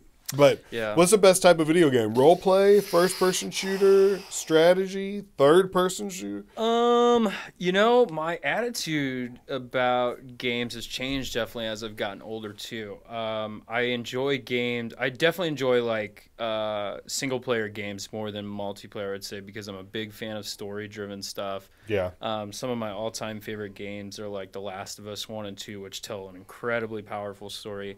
Um, you know, uh, The Witcher, um, Horizon Zero Dawn. Like these are some of my like. They have these awesome characters that have these awesome narratives behind them. Um, so I enjoy playing those the much. They're also, I mean, nowadays like everything's open world, meaning like it's not so Yeah. linear. Like you can kind of choose your own path, which I like. Um, I don't like though like games like um, a big game last year was Baldur's Gate three, and it was probably a hot take for the video game community, but I wasn't a fan of it. It's very much like a role playing Dungeons and Dragons type game.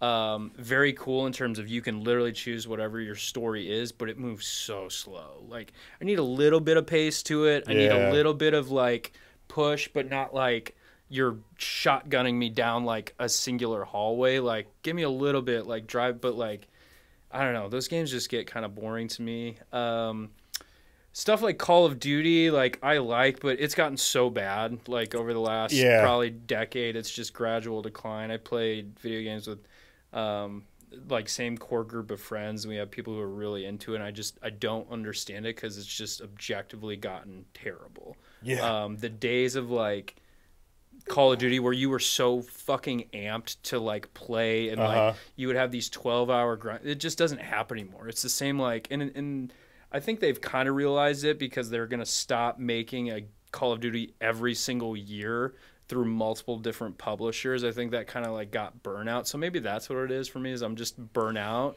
It Uh, definitely took a turn. It was so fun because I remember video games like when I think of Call of Duty, I go all the way back to like the first time, like GoldenEye. Yeah. Playing that with your Like friends. shooters, yeah. And my hot take is that video games were ruined by online play. The I yeah, yeah, I understand. Yeah. Everyone in the world is going to be like, "You're an idiot," and Um, maybe I am. I don't think that's so. I mean, the days of LAN parties were awesome. Yes. You remember those? Like you, you and your boys would like Yes. bring over the Nintendo 64, like Xboxes, whatever it was. You'd all like have your own TV. Me and my friends did this as late as like seven years ago. We would play Fortnite like every Friday. Yeah. We'd literally, but we'd all come in the same room and play an online game. Together I would love that. because we're part of that generation that just had LAN parties. Like we didn't know how to like disconnect, and we don't do it anymore because they've all become dads and like Yeah. have lives now and stuff. But um, yeah, like I loved that era of gaming, so I don't think that's a hot take at all. I honestly would prefer if we go back to that. I would. I would.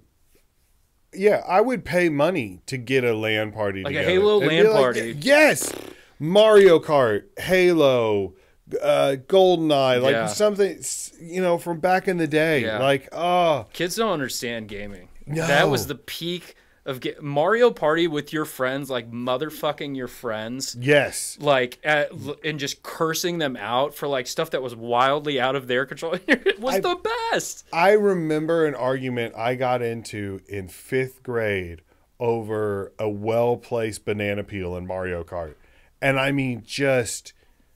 Mar- just furious. mario kart would get contentious Oh my god. to say the least Yeah. Oh, Heated. oh, oh, so many, so many arguments where you're get hit just with like, that "What are you doing? You wow!" Like that, yeah. the blue Uh-huh. flying shell would just come out of nowhere you'd be cruising along and that blue flying shell would You, come the music bomb- change, and you hear the Just like, just dead. Yeah, you hear it tracking onto you. You did. Oh man, see, that's the thing about games I miss. I miss that. we don't have that same level of uh, camaraderie anymore. Um, there's uh, there's a game that I've been playing recently though that's given me honestly uh, a lot of hope. Uh, Helldivers 2. I don't know if you've seen any of the clips of it. I've seen, yeah, I've seen. Military people love it because it's literally Starship Troopers in like the most satirical, mi- militaristic. se- like it's soup. Their whole thing is uh, their whole s- uh, phrase is uh, "help us spread democracy," Oh, yeah. uh, which is just hilarious, like in itself. But they're very like you know liberate. Spread democracy to insects. Yeah. It's very funny, but um, it's PVE, meaning like there's no player uh, versus player. There's no like online versus. It's all procedurally generated, meaning you never play the same like area or s- group of enemies twice, meaning it's constantly changing. Um, and there is, I mean, the whole writing and like concept of the game itself is very funny, but um, there's still an aspect of uh, friendly fire, which is creating this like very funny like positive like just set of i mean rush of content like um, i work in social media for a living and i'm just seeing like the the digital conversation like has just gone up the last month and a half with this game but it's overwhelmingly positive and it's over, overwhelmingly like just gold moments of friends laughing with each other and not motherfucking. I mean, I still motherfuck my friends all the time. Uh, my buddy CJ kills me in Hell Helldivers 2 all the time, and I hate him for it. uh, but it's creating these moments that like we had when we were kids, where it's like it's such a like communal thing. Like it's just I don't know. It's definitely bringing back. There's some nostalgia aspect to it when I play it, um, and it just has all these other great things too. So. I've I've seen clips of it and it looks fantastic. It's I- awesome. It's awesome just to play, like you know, just as a video game. But it just has this. They've just got this right mix going right now, and uh, they're crushing it as a result. It reminds me of I don't know if you ever got into this game, but I loved Gears of War. Oh yeah, and it- Definite Gears of War vibes. yeah, it Yeah. reminds me of like the horde that you could play Yep. against, where it's just wave after You and four, yeah. Zombies was big in Call of Duty Yeah. too, which that's become a whole other like. There's a narrative behind it now, and like you have to basically look up YouTube videos on how to beat zombies now. Like Yeah. they just don't have the like. You have to find a key. Yeah, like the classic a- mode where you were just locked in that cabin and like. You know, you just get that red marker on the bottom. It's like, you know, you get that gut feeling. Oh shit, it's about to Yeah, get way the music worse. would Yeah. change, and oh yeah, yeah. You don't have that anymore. It's different. Um, which sucks because that, yeah, for uh, I mean, was just uh, that was peak gaming. It was the '90s were peak a lot of things, at least for me. Maybe that's just the old man side of me being I- like, that was peak No, everything. no, I I agree. I I think, I mean, Halo, uh, Halo Two. Yeah, I remember when that came out. I remember just being like, people lost their minds. I was like, this is it. Yeah. This is as good as It will gaming never will get ever better. get. Yeah. The graphics can't be any better than No. this. The the you know like that, and I'm sure if I looked at it again, I'd be like, oh, this is they terrible. have but uh, you can pull it now I have a PlayStation and now you can play like these classic games Uh-huh. and like every now and then they'll have one for free that I'll like download just to see how it looks and I pull it up and it's like my my TV has a seizure because it like Yeah. can't comprehend how crappy the graphic quality is. Um, but yeah, that was that was peak gaming, man. Back in the day, those I were the miss- days. Oh, I miss those. I do. I do enjoy the the massive like on. um uh, I don't even know what you call them, but like Red Dead Redemption. oh, that was so much another fun. story that is just Where you just take, you just, you, you, were just go. You, you know. were an emotional wreck at the end of that game. yeah, and if you didn't want to do anything, you didn't have to. You could just ride your horse for 10 straight hours if you wanted to. Uh huh. Uh huh. Just listen to music. Oh man, There's, I had a buddy who had come up with. uh He came up with his own playlist. Yeah. Just for riding around Yeah. on his horse, and, and he would put on headphones best. and just. And I'm like, Yeah. I like it. I yeah. It's- Nothing wrong with that. it's funny that um, next year we'll have um, two very big games that were big when we were kids, come, like re-releases or not re-release, but like the latest editions. Grand Theft Auto Six is going to come out, and this whole new generation of gamers is going to discover like what Grand Theft Auto was. But like, it's just wild that I was playing like Grand Theft Auto like two and three when I was like Uh-huh. ten years old. I remember playing Santa Grand Theft Auto San Andreas and being like, "This game is like, oh my The cool. the yeah. coolest, violent, most like provocative thing I've ever seen. And now we are like 20 years later, and it's that. And then um, college football will come back. NCAA. NCAA. Oh, I'm so excited. the amount of hours that I put into that game over the summers that I just would like create, like take these zero win teams to like national championship, like McNeese State. Like you, you Mm-hmm. build and recruit. like, um, so I am glad that they're bringing some of this stuff back, and um, hopefully it ushers in a new new era of gaming for us all. Uh, maybe. I I hope so. My the other day, my, my son is not into sports. Like not really. Okay. Like he says he likes basketball, but you know it, it's just kind of something to do. I yeah, think. yeah. But the other day he asked me if we could download Madden, and he's like, Oh. I like because his cousins play it. Okay. And he's learning some of the rules, and he's Yeah. like watching some of the players and Yeah. stuff. And I was like, oh, it's like a little glimmer of hope. Right. Like, A little glint in your eye. Do like, you want to play Madden with Yeah. me? Like, like, oh my gosh, I've been waiting for this moment. It's a true father son moment. Yes, yes, Yeah. because our our only our only experience playing games together now is like Lego Marvel Avengers or something like Yeah. that, where you have unlimited lives and you can just.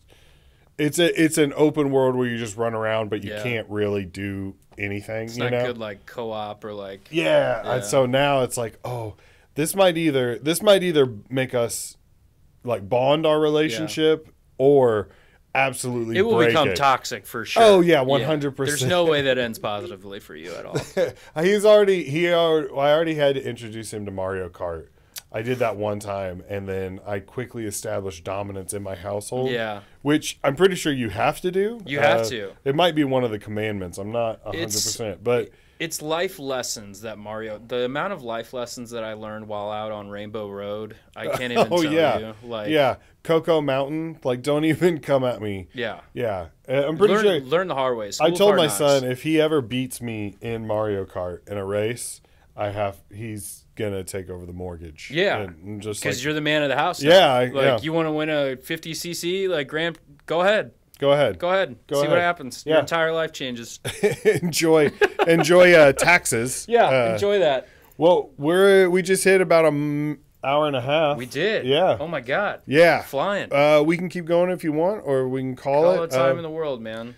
all right. You tell me it's your deal. Let me get a couple more in here. I listened to all the World War II stuff with Jack. I Oh yeah, yeah, yeah. A lot of these. So I I make questions for each person, you know, Yeah. and sometimes I get, uh, sometimes I get more in than I than Yeah. normal, but then they're all like right there. Yeah. So I try to like scroll down to like a further away question Okay. sometimes because then A it deep cut. or else it's just like the same six questions over and over. Yeah. I was asking uh, somebody this the other day. I don't even think I have a slide for it. Yeah. But uh, what would be the? What do you think is the best scent combination? Scent, con- like Yes. smell. Yeah, like smells. Wow. Like if if you were gonna make your own cologne. Oh God. Yeah. Uh, every The- time I think about cologne, I think about uh, Dennis Feinstein from Parks and Rec. I don't know if you're familiar with that show, Yeah. but he's a cologne. He's just the worst guy. Um, and he makes like the most provocative cologne set. I can't remember. It's so bad. Um, cologne smell. That's an interesting one. I'm thinking like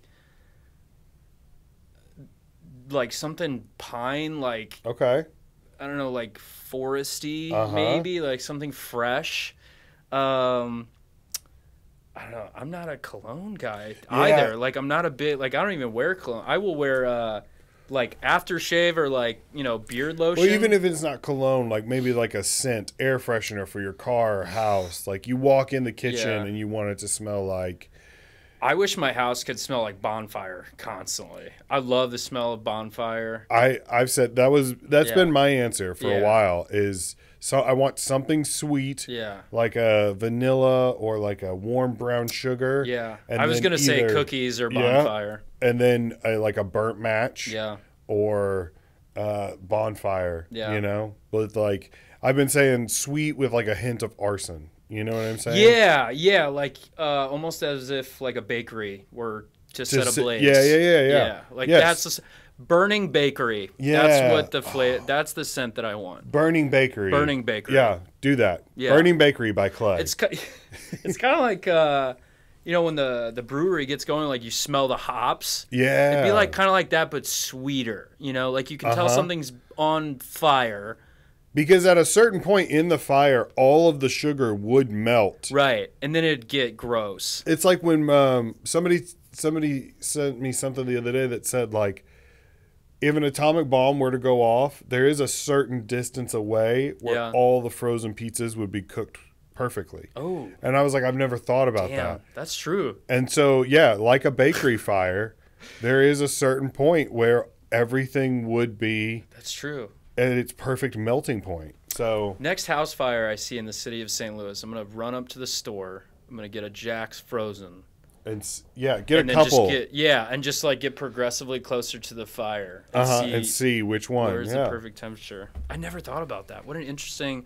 It kind of is like uh, cracking an egg on a sidewalk kind of yeah. deal. Like the hotter it, is, like mm, It just vaporizes the egg. It's, Yeah. It's.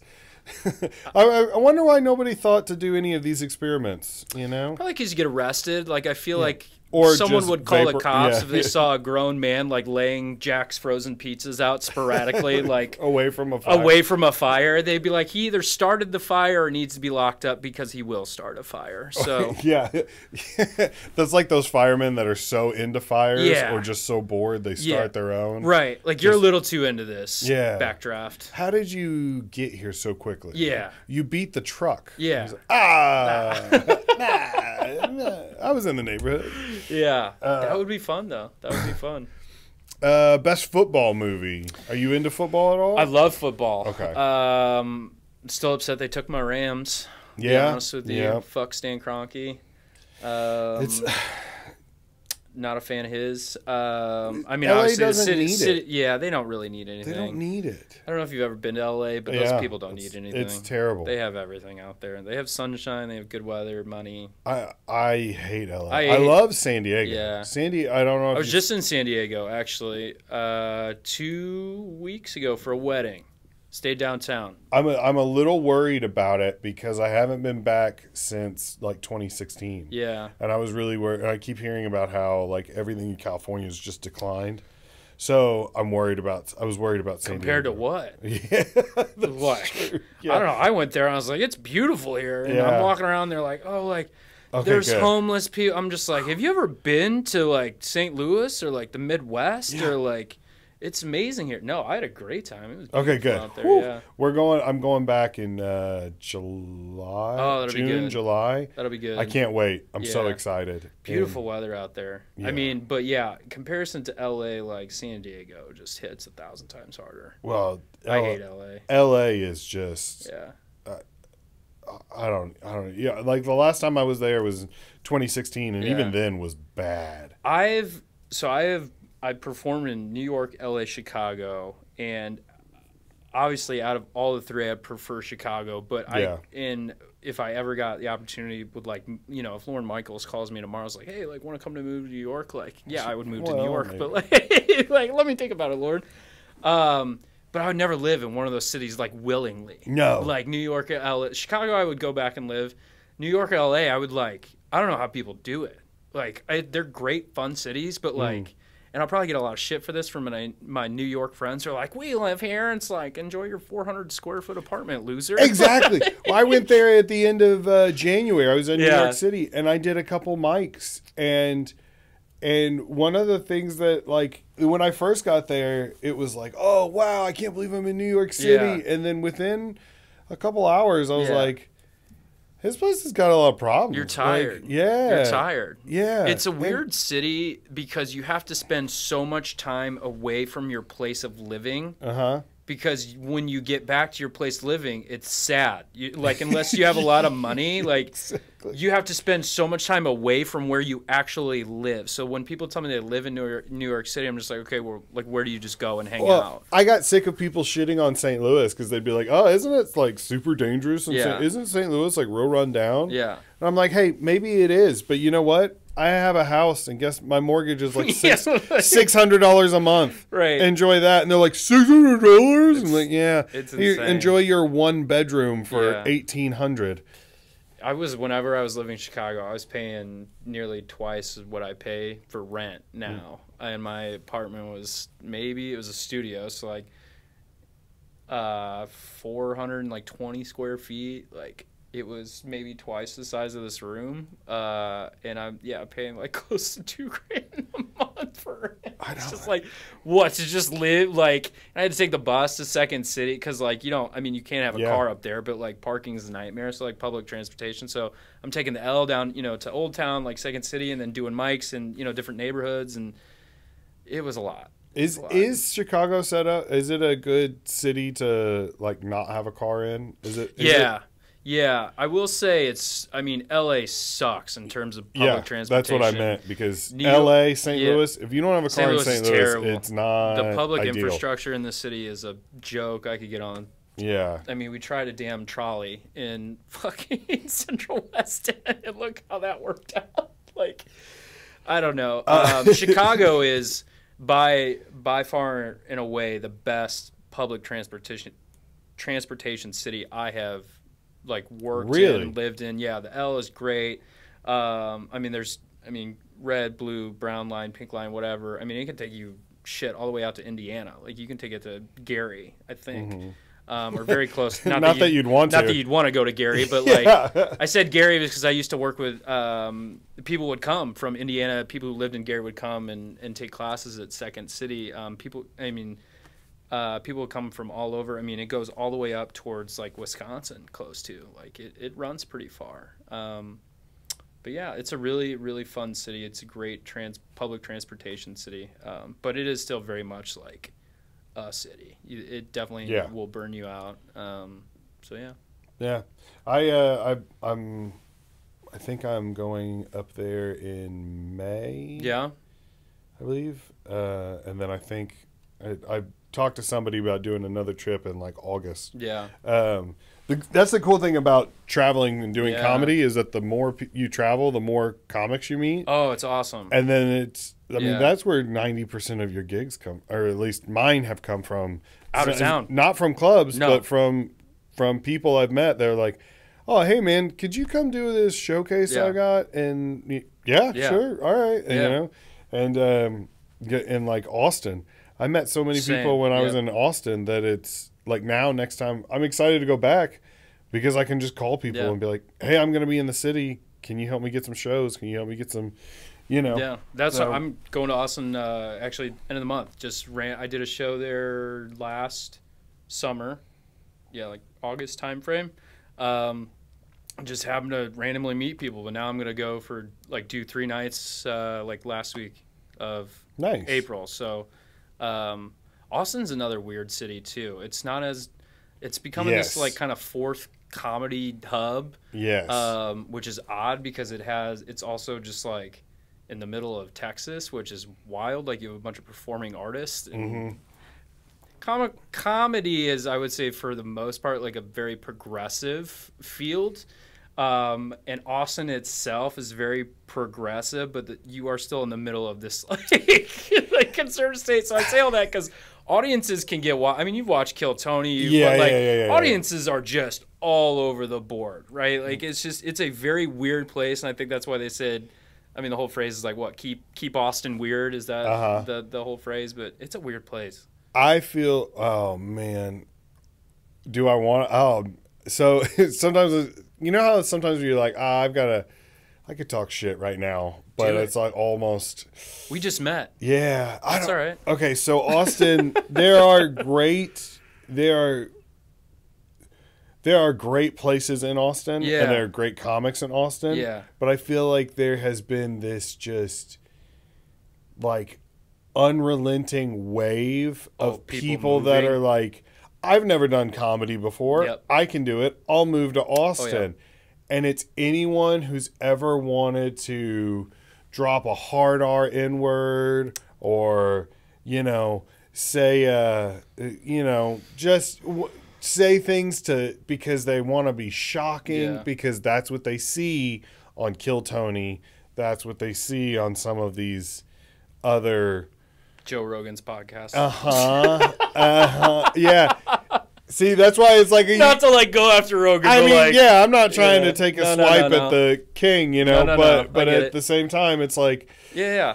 you guys realize like that's the sig- that's the bat signal you're putting out, Right. And these are the bats you're getting, Yeah. You know, and, And then they're shocked when a Yeah. year later, like, why am I not getting booked? I don't understand. Like, I've said all of the words I'm not supposed to say. How come Yeah. nobody wants me?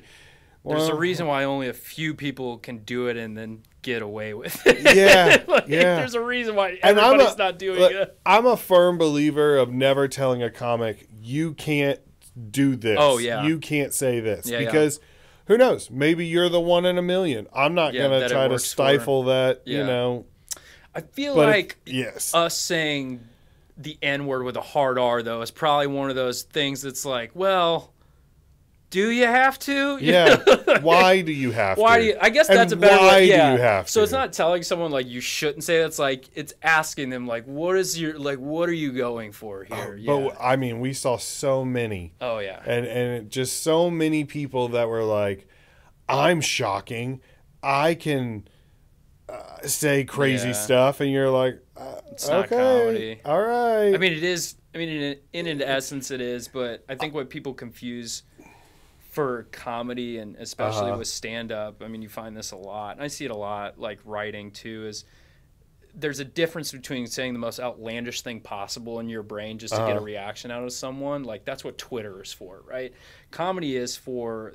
Yes, you can still talk about those things, Uh-huh. but doing it in a way that relates to people and that gives a perspective and makes people think about that, not just and, and think about it beyond just like, oh my god, I can't believe he just said that. You know, like there is, at least for me, like there has to be some type of perspective with comedy. That's what makes real comedians really good is their stuff is relatable. Their Uh-huh. stuff is understood by no matter what room they walk into. Like the all-time comedy greats, they have stuff that plays in every single fucking room, no Mm-hmm. matter what state, no matter what city, right? Um, and and people who kind of try to take away from that or just like try to say the nastiest or the meanest or the weirdest shit possible, like there is a sector for those people, but there's not longevity No. in that. There's not, and that's a reason why there's so very few people who are doing that and like are successful at it. You know, I couldn't agree more. we That's don't need what more of those people. It's like, no, we got enough. I learned two things when I went to Austin. The first thing was there is a there there's almost two different scenes there like as far as comedy goes there's the comedians which Yeah. were putting on lots of shows and doing lots of work and stuff Yeah. like that and then there's the get get rich quick mm, I'm gonna do one minute mics Yeah. to prepare for Kill Tony, so when I go on, I have a minute of good material and and nothing else. noticed and picked up. Uh and- huh. Yeah. And but then you know, like I said, but then there is there is a lot of other really great rooms with really great comics and really great showcases, Yeah. and they're all working on being real comics. Yeah. And then you have the other dirty side of one minute Yeah. headliners, you know, and you have they have three minutes of prepared material, Right. and that's it. So Yeah. when they leave that area or they get on Kill Tony, it's like, okay, yeah, you look great, but w- what do you got now? They do this show every night, man. I know. They trot out fifty of you clowns. It's not for it's for them to laugh at you. I know, and I can't stand it. I go to like you are literal clown. Not that I have gotten so much enjoyment watching Kill because there Yeah. are funny people on there. Like Shane Gillis, you know, had, has Yeah. been very successful. Um, you With- know, I've met people that have gone on and done well, Yeah. and it gave them the boost that they Right. needed because they were legit comics. right? Because they put in the work on the other side of town. Yes, Exactly. exactly. Yeah. and and the the second thing that I realized was going down there was how happy I was to have St. Louis. Yeah. because like you said, we have a a cross section of all kinds of different people. We have you know it's a conservative state, but St. Louis is a very liberal city. Yeah. we have a you know you go out to St. Charles, you're gonna county get versus city jokes. Exactly. And North, you know, then you have North County, then you have South, South County, County. then you have the Grove, then you have, you know, and it gives you a chance to get in front of all Yep. different types of crowds. Yep. And if you can make them laugh, you know, if you have a joke that works in all of those rooms, chances are it will work in It will all of America, It will you know? So, I, and I think that's the most important thing is you have to be, if you want to be a comic, you have to be a comic everywhere Yeah. not just in the rooms that you want to perform in, Yeah. but in the rooms where anyone who shows up is going to laugh. Because un- I and I tell this to open micers all the time. If your name is not on the poster, if your name is not on the ticket, Mm-hmm. nobody cares what you think. Yeah. Don't talk about your politics. Yeah. Don't talk about what type of porn you like to Right. watch. You know, again, you I hate saying to any comic, "Hey, you can't talk about this, Yeah. you can't talk about that." But at the same time, it's just like nobody cares. We've heard the same pussy eating joke like A billion thousand If I go to one more mic, I mean, I'm gonna hear. It. I say this in chats, but like, if I go to another open mic and hear a pussy eating joke, I'm just like, bro, like What are we doing? what are we doing? everyone has said, like literally everyone has said that Yeah. joke. Not like everyone, but like that's such a like lowest hanging branch. Like this is just, it's almost disrespectful to the craft. Yes, and and and a jerk off joke and a oh this is the porn Yeah. I watch joke and it's Yeah. just like people don't care. Yeah. Now, if you're selling tickets, if you're a headliner, Yeah. do whatever you want. Yeah. Because the people are there to see you. Yeah. They want to hear your opinion. But if people don't know who you are, it doesn't matter. Yeah. Don't don't talk about it. Just get up there and be funny, warm them up, and then if the headliner wants to be, you know, whatever and walk people, it's Yeah. a, it's their show. They can't because They have done the It- work again to get to that point. Yeah. You you earn that main stage, you put in the work. You know, you do the open mics, you write whatever, and once you get that platform, uh, you can say whatever the hell you want. I think it was Jerry Seinfeld. It was has a great quote. There's like four levels to comedy, right? Mm-hmm. The first is like making your friends laugh. So make like if Yes. you, anybody that wants to be a comic, there's four levels to this shit, right? The first is you have to make your friends laugh. If you can legitimately make your friends laugh, like outside of a fart or you know, like Yes. legitimately write something that makes your friends laugh, you pass that stage. The next is like making strangers laugh, people you don't know. So those people that go down to Austin to serve this one kind of niche, they almost skip that second stage is because to what your point was, you need to kill at different areas. You know, like St. Louis, for example, you need to kill out in the county, you know, at Funny Bone just as hard as you need to kill at Platypus down in the Grove, or you need to kill it. Um, I mean, my my home, as I've kind of claimed it, is um, is um, not Southtown Pub. I keep calling it Southtown Pub. Uh, Golden Hoosier. Oh, Um, yeah. So like you need to kill in all those different places um, to really know if you are meant to or can't do it. Because then that third level is no, I'm a comedian now. I'm booking Mm-hmm. show like I'm the headliner. I'm making money. Is that third? And then the fourth is you become you know national. You like this just becomes a job. Like you end up making that big move to New York or LA because you have an agent that's like, I'm not booking you for shit unless you're out here, Yeah. right? Um, but yeah, it seems like people have just decided to skip that second step. You know, they they've gone from making their friends laugh to thinking like, no, this works for everybody. Like Yeah. people outside of my little circle, my little circle likes it, so everyone's gonna like it. And they try to then go to that third step where it's like, well, why am I not making money? Well, you, you're not making money because you don't even really know your shit. You know, like Yes. if you go to the same open, you know, three open mics a night and um, you know, tell the same jokes and you're not working on your craft, you're not bombing, like it takes bombing to get to that third step. Like you have to fail miserably in that second step multiple times to even have a sniff at the third and even a dream at the fourth. Um, and it's sad that we have, you know, and I say that as like I'm some big success, but like I've I've I've gotten to a good place now where I'm making money with comedy, um, and I had to bomb a lot, like for a long. I went through Second City like seven years ago, like, and it's taken me this just to get to this point. You know how many times I've bombed or written shitty pieces to like now just have like get this like sniff of like comedy, you know, success, and it's not even you know wild success. It's like it allows me to take a vacation every year, you know, Yeah. or like pay my car no, like that's that third level. But yeah, it's it's been it's been crappy to see a lot of people like skip that second step, um, which is odd because it's you know those four steps come from one of the greatest comedians of all time. So Yeah. I talk when I talk to Guy Tori, he call he calls them social medians. yes, It's like they get funny on TikTok, they get funny on YouTube, whatever, Yeah. but they don't know how to be on stage. Yeah, they don't know how to work a And crowd. They don't know when like- to cut to different things when things aren't working. Like it's an Mm-hmm. art, and the same could be said for for improvisers. Like, and that's why I have such a respect for people who do you know improv, for people who do theater, musical theater. It's like that's the ultimate live, you know, like ultimate like not rehearsed at all. Like stand up, you have the benefit of like written down material, like you know stuff that you can pivot to. Improvise, you are literally on the spot, expected to be funny for an hour to two hours, and make the shit up every week, week after week.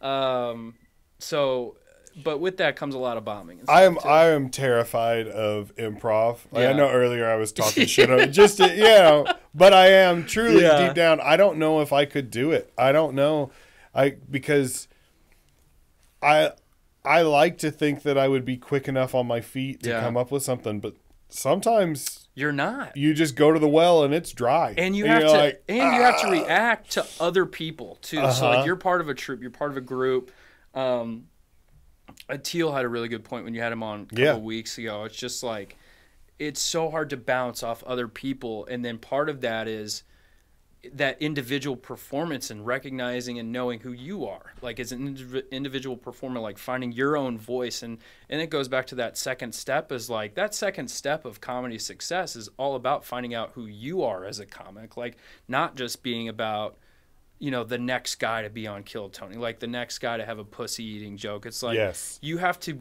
go through step number two to really find out who you are as a comedian as a writer um, before you can even have success um, and it, it is crappy that a lot of people skip that step I couldn't agree more. yeah I couldn't agree more. Um, Well, the last thing I ask everybody when they come on, Okay. uh, what is the best way to fix this podcast? Do you have any tips, Oh suggestions? Uh, no, you need to get water. You need to get a water machine in here. I know, I know. Um, I need to get bottles of water. Yeah. Um, gotta stay hydrated. No, this has been great, man. It's been awesome uh, meeting you. It's been really great just getting to know, like I said, people in St. Louis since I've moved back. So, um, yeah, hope to see more people around at mics and stuff and showcases and whatnot. Yeah. Uh, what's your? You got any? Um, you want to plug your social media or any shows coming up or anything like that? You got- Um, plug End of the Bench, obviously. Yes. End of the Bench, read us. You can subscribe into the benchsports.com. Uh, free satire newsletter. We give out free giveaways and stuff too. T shirts. There's a merch shop. Um, shows. Uh, just got a couple mics tomorrow. Well, it's third. I don't know when this is gonna come out, but uh, via Platypus tomorrow. Be at Golden Hoosiers Sunday, uh, and the rest of stuff's out of town, so it's probably not. Have you ever been to? Have you ever been to Steve's Hot Dogs? I have been to Steve's. Yeah. Uh, have not gotten up at Steve's, but that's definitely on my list. It's a good one. It's a Yeah. uh, shout out Steve's Hot Dogs Love Thursday Steve's. nights. Uh, When I say I've been there, I mean I've I've eaten there Yeah. quite a few times. uh, been to the show, love the venue, love the little spot, love that it's become. I mean, it's a very odd place, Yeah, but like yeah. That's comedy. You know, there's another great one, um, Green Greenfinch, the uh, bookstore. I mean that. Um, oh my God, Andrew. Um, I can't remember his last name. Really nice guy.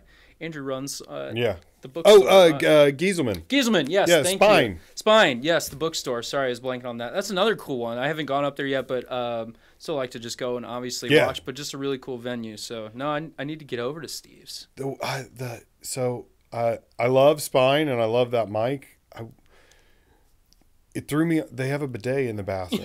That's and it it uh it that threw me off. I was like, I don't know if that's the coolest or the grossest thing I've ever seen. in a bookstore. It's an interesting. a public Yeah, bidet yeah. is I don't know if I would ever use it. yeah I, I couldn't yeah That's yeah, tough. yeah It's, Uh, it's an older building though, so just give them the benefit of the doubt. and a newer bidet if it makes it That makes it weirder. yeah okay all right Someone's just going in there washing their butt, yeah it's just reading books and washing butts. oh man Welcome to open mic. that was yeah yeah welcome to stand-up comedy Welcome in all its comedy. glory Yes. Yeah. You either have a hot dog shop or a bidet, A bidet bookstore. bathroom. Yeah. What's the weirdest spot that you've ever gone up in?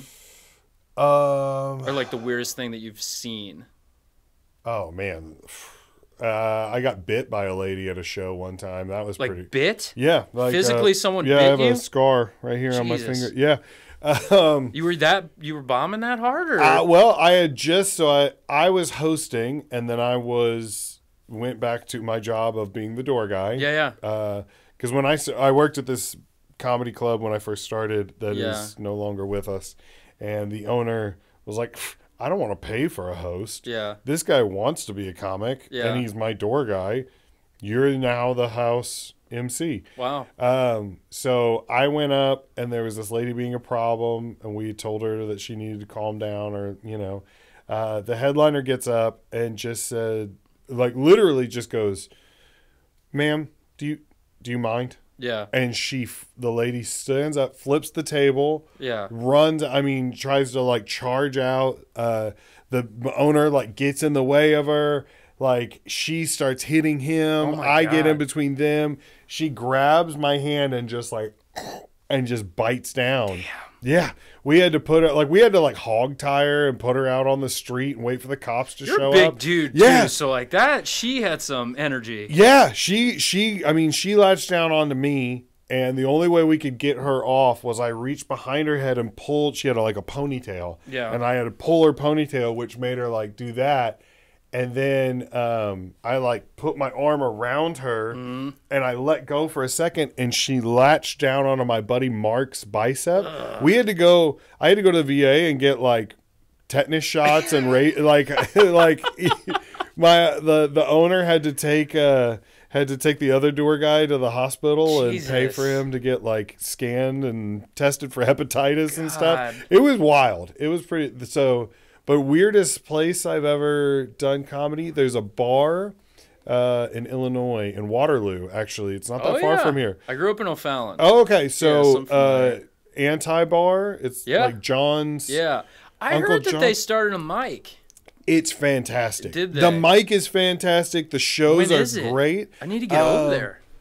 I can't remember when the open mic is. I know they do a showcase over there. I'll Okay. put you in contact with the guy who Yeah. Shout out please do. Ryan. Yeah, uh, Ryan Ballard. do. I'd love Uh, to go up there. Waterloo of all places. It's so cool because it's under the bar, okay. but We're like right in Waterloo. it, it's it's like downtown. yeah, it's right there on like the main. I think it's the main Yeah. square. What is that? Yeah. Uh, Okay. it- it's right next to Whiteman's. It's either I think it's like Whiteman's Apothecary or something like that. Okay. Whiteman's drugstore. Shows how long I've it's been since I've Yeah, been but Waterloo. it, the only reason I remember that is because it looked kind of like it says White Man's Drugstore, and I was like, oh, I don't think you can do that, that could be problematic. yeah, but the the stage is under the like it's under the bar. Okay. When I was going to stage, I was like doubled over, and to get because there's like a floor that's like four and a half feet tall, and then Uh-huh. there's seats. So people are sitting like under the floor, but they can see you perfectly. Okay. It's it's I I can't even. Ex- it's so hard to explain. So that's definitely Give me that weirdest. dude's number. I need Yeah. to check this place out. It's so much fun because Yeah. everyone's packed in super tight. Yeah. and and I got a couple fun clips out of it just because it was, you know, it's good for comedy. yeah. Comedy is so weird like that. It's weird. What about you? The weirdest? Weirdest place. Um Chicago just had so many like really I mean it really depended on even Uh-huh. what neighborhood you were in. Um I mean Lincoln Park, Riverview, like Logan Square, like just had really odd spots. The weirdest I'll tell you the weirdest thing that ever happened to me in stand up. It's also like a really great story and then I promise I can leave. Um, I uh that's the problem with me is you get me talking Yeah, and I I- just get very time. excited and I'm just like um weirdest thing that ever happened to me is um I was at uh it was very early on. I had kind of just gotten into like doing stand up uh at the clubs. Um did Zanies open mic one night and um I think it was I don't know I can't remember the time frame. It was probably like midnight, one o'clock in the morning, and this is an open mic where like seventy-five people sign up, and by the time they get to the end of the list, you're getting about like forty-five seconds. So I was like, I don't know, like middle tier or whatever, like thinking like I don't even know if I'm gonna get up, like, but like you can't leave because Yep. if you leave, then you're never getting like if they call you and like You're not there, yeah. you're never coming back, right? So it's those situations where you just kind of have to wait it out and grind it out and drink an extra cup of coffee the next day. But um, I'll never forget. I'm standing outside, out back, uh, out back of Zanies, and I'm talking to just a couple other comics, and um, people are smoking, whatever. And this guy comes up. He's wearing a hood, and um, he's like, "Hey, man, can I bum one?" And uh, my buddy was like, "Sure." And we didn't even like really see see the guy who it was at first. He was just wearing this hood. He was a uh, black guy, and um, he was like, I'm about to go in here and do my thing. And we were like, okay, man, like whatever. You just see people on the street Yeah. all the time. Um, uh, so we go back in the club, and sure enough, about 30 minutes later, this dude comes uh, from the back and pulls down his hood. And who who else uh, was it but Hannibal Buress? Oh, nice. so we were just standing out back, like smoking, or you know, friends were smoking, singing. Hannibal Bur- didn't even recognize him, just Yeah. totally casual. But um, that's the good thing about comedy is just like you can have those. But I saw Nikki was at Funny Bone, Yeah, last, last night, night, just yeah. came through. So Greg Warren's there all the time. yeah, and- so it's yeah. I, that's a really cool thing when you go to these big clubs. Like these people come back to their hometowns and and show out and like come work on material. So it was just like a really like wild, cool moment uh, to be a part of. There was another time. Here's another time. Is um, uh, there is a bar. Oh my god, what's the name of the bar? It was a bar in Logan Square. I don't even know if they do an open mic or if they're still open. This was pre-COVID. Um, there was a bar that did an open mic, and the mic was in the middle of the room, so not like stage. It was literal like Mm. Ron Swanson circular desk, like Yeah. 360. So like it was weird because like you had to like turn in place like the whole time. Like you'd be telling a joke, like you'd start it here, and then by the time you get to it, like you just have to rotate all the way around because otherwise people are just looking at your back. But um, there was that. There was another time that um, this lady brought. She had like two or three small dogs. Just it was a dog friendly bar. Um, but like it was an open mic night, so people like generally just understood like don't bring your dogs in here like because Yeah. like this is but sure enough she brought two dogs and they were barking like the whole time and everyone's just like uh-huh yeah like this is this is what happens like this is normal i'm just like what the hell I, there was a cat at a show one time. Yeah. a lady had an emotional support, support cat, yeah okay and and in the first like four comics all made a comment about it, and then Yeah. after that, you're like, okay, well, it's just a cat. Like it's you know, at least it wasn't barking or Yeah. doing anything. But it's just that's not what you expect to see. No. You know, that would actually be a good time for pussy eating jokes because Yes. there's an actual cat in the yeah. room Then it's okay. then it's okay if there's a cat in the room tell the pussy eating Yeah. joke for sure that is crazy though that you that uh, Hannibal Buress was there. You didn't think anything of it. I didn't even know who it But was. It was the- dark out. Like again, he can't. It was cold. Like Chicago, like wind. So like we're bundled up. Like you know, he had a hood on and just didn't And- even recognize him. To be fair, the number of times I've been outside of an open mic. And a black dude's come up to me and be like, "Man, I'm about to go do my thing in there." Like, Just random people. Yeah, like it's yeah, just like that happens yeah, all the time. yeah. I would have not thought anything of it. I it. thought the dude was literally just trying to like be like cool. He was just gonna like walk away with the cigarette and just like he was trying to be friendly. Yeah. Like, oh yeah, like I'm in here all the time, but like no, it was actual Hannibal Buress. So. nice guy. the though. one time, the one time you don't, and then every other time you follow it. I'm following. I'm asking him for an autograph. and you're looking in there and you're like, "Oh no, never mind." That happens so many times. Yeah. Like, I, but Lesson learned. Lesson always, learned. Always be vigilant. yeah, never Always keep be your head on a swivel. Head on a swivel. That's Yeah. right. Yeah. All right. Well, uh, no, I appreciate you coming in, man. I hope Yeah. uh, if you ever want to come back, please. Anytime. You ever got a show to promote, or you got a uh, end of the bench, especially with the season Cardinal season starting up next month? I'm sure you'll be busy, and We will. you know Blues. I don't. I have no idea how they're doing this year. Doesn't seem great. But they're uh, they're rebuilding. Man, we had a like it was a great run of like three or four years. We were just like there was two summers. I feel like I was just drunk the whole entire time. Like spring summer. Oh, So yeah. That Stanley Cup year, I was drunk like three nights a week, like Oh. watching playoff hockey. that was the best. I, I remember everyone trying to keep up with Brett Hull and oh, everybody Oh, yeah. trying to, you know, and then of course last year the Cardinals it was the first losing Terrible. season in 20 years or something. Yeah. We'll Hopefully back. this year. We're gonna bounce back. Hopefully this year, and Yeah. maybe they'll bring back the you know the duels with the pitchers, That would be great. or start it. More violence in sports, people. Yeah, that's what we're looking for. That's our closing If you take one thing away from this podcast, more violence in sports. Put violence in sports.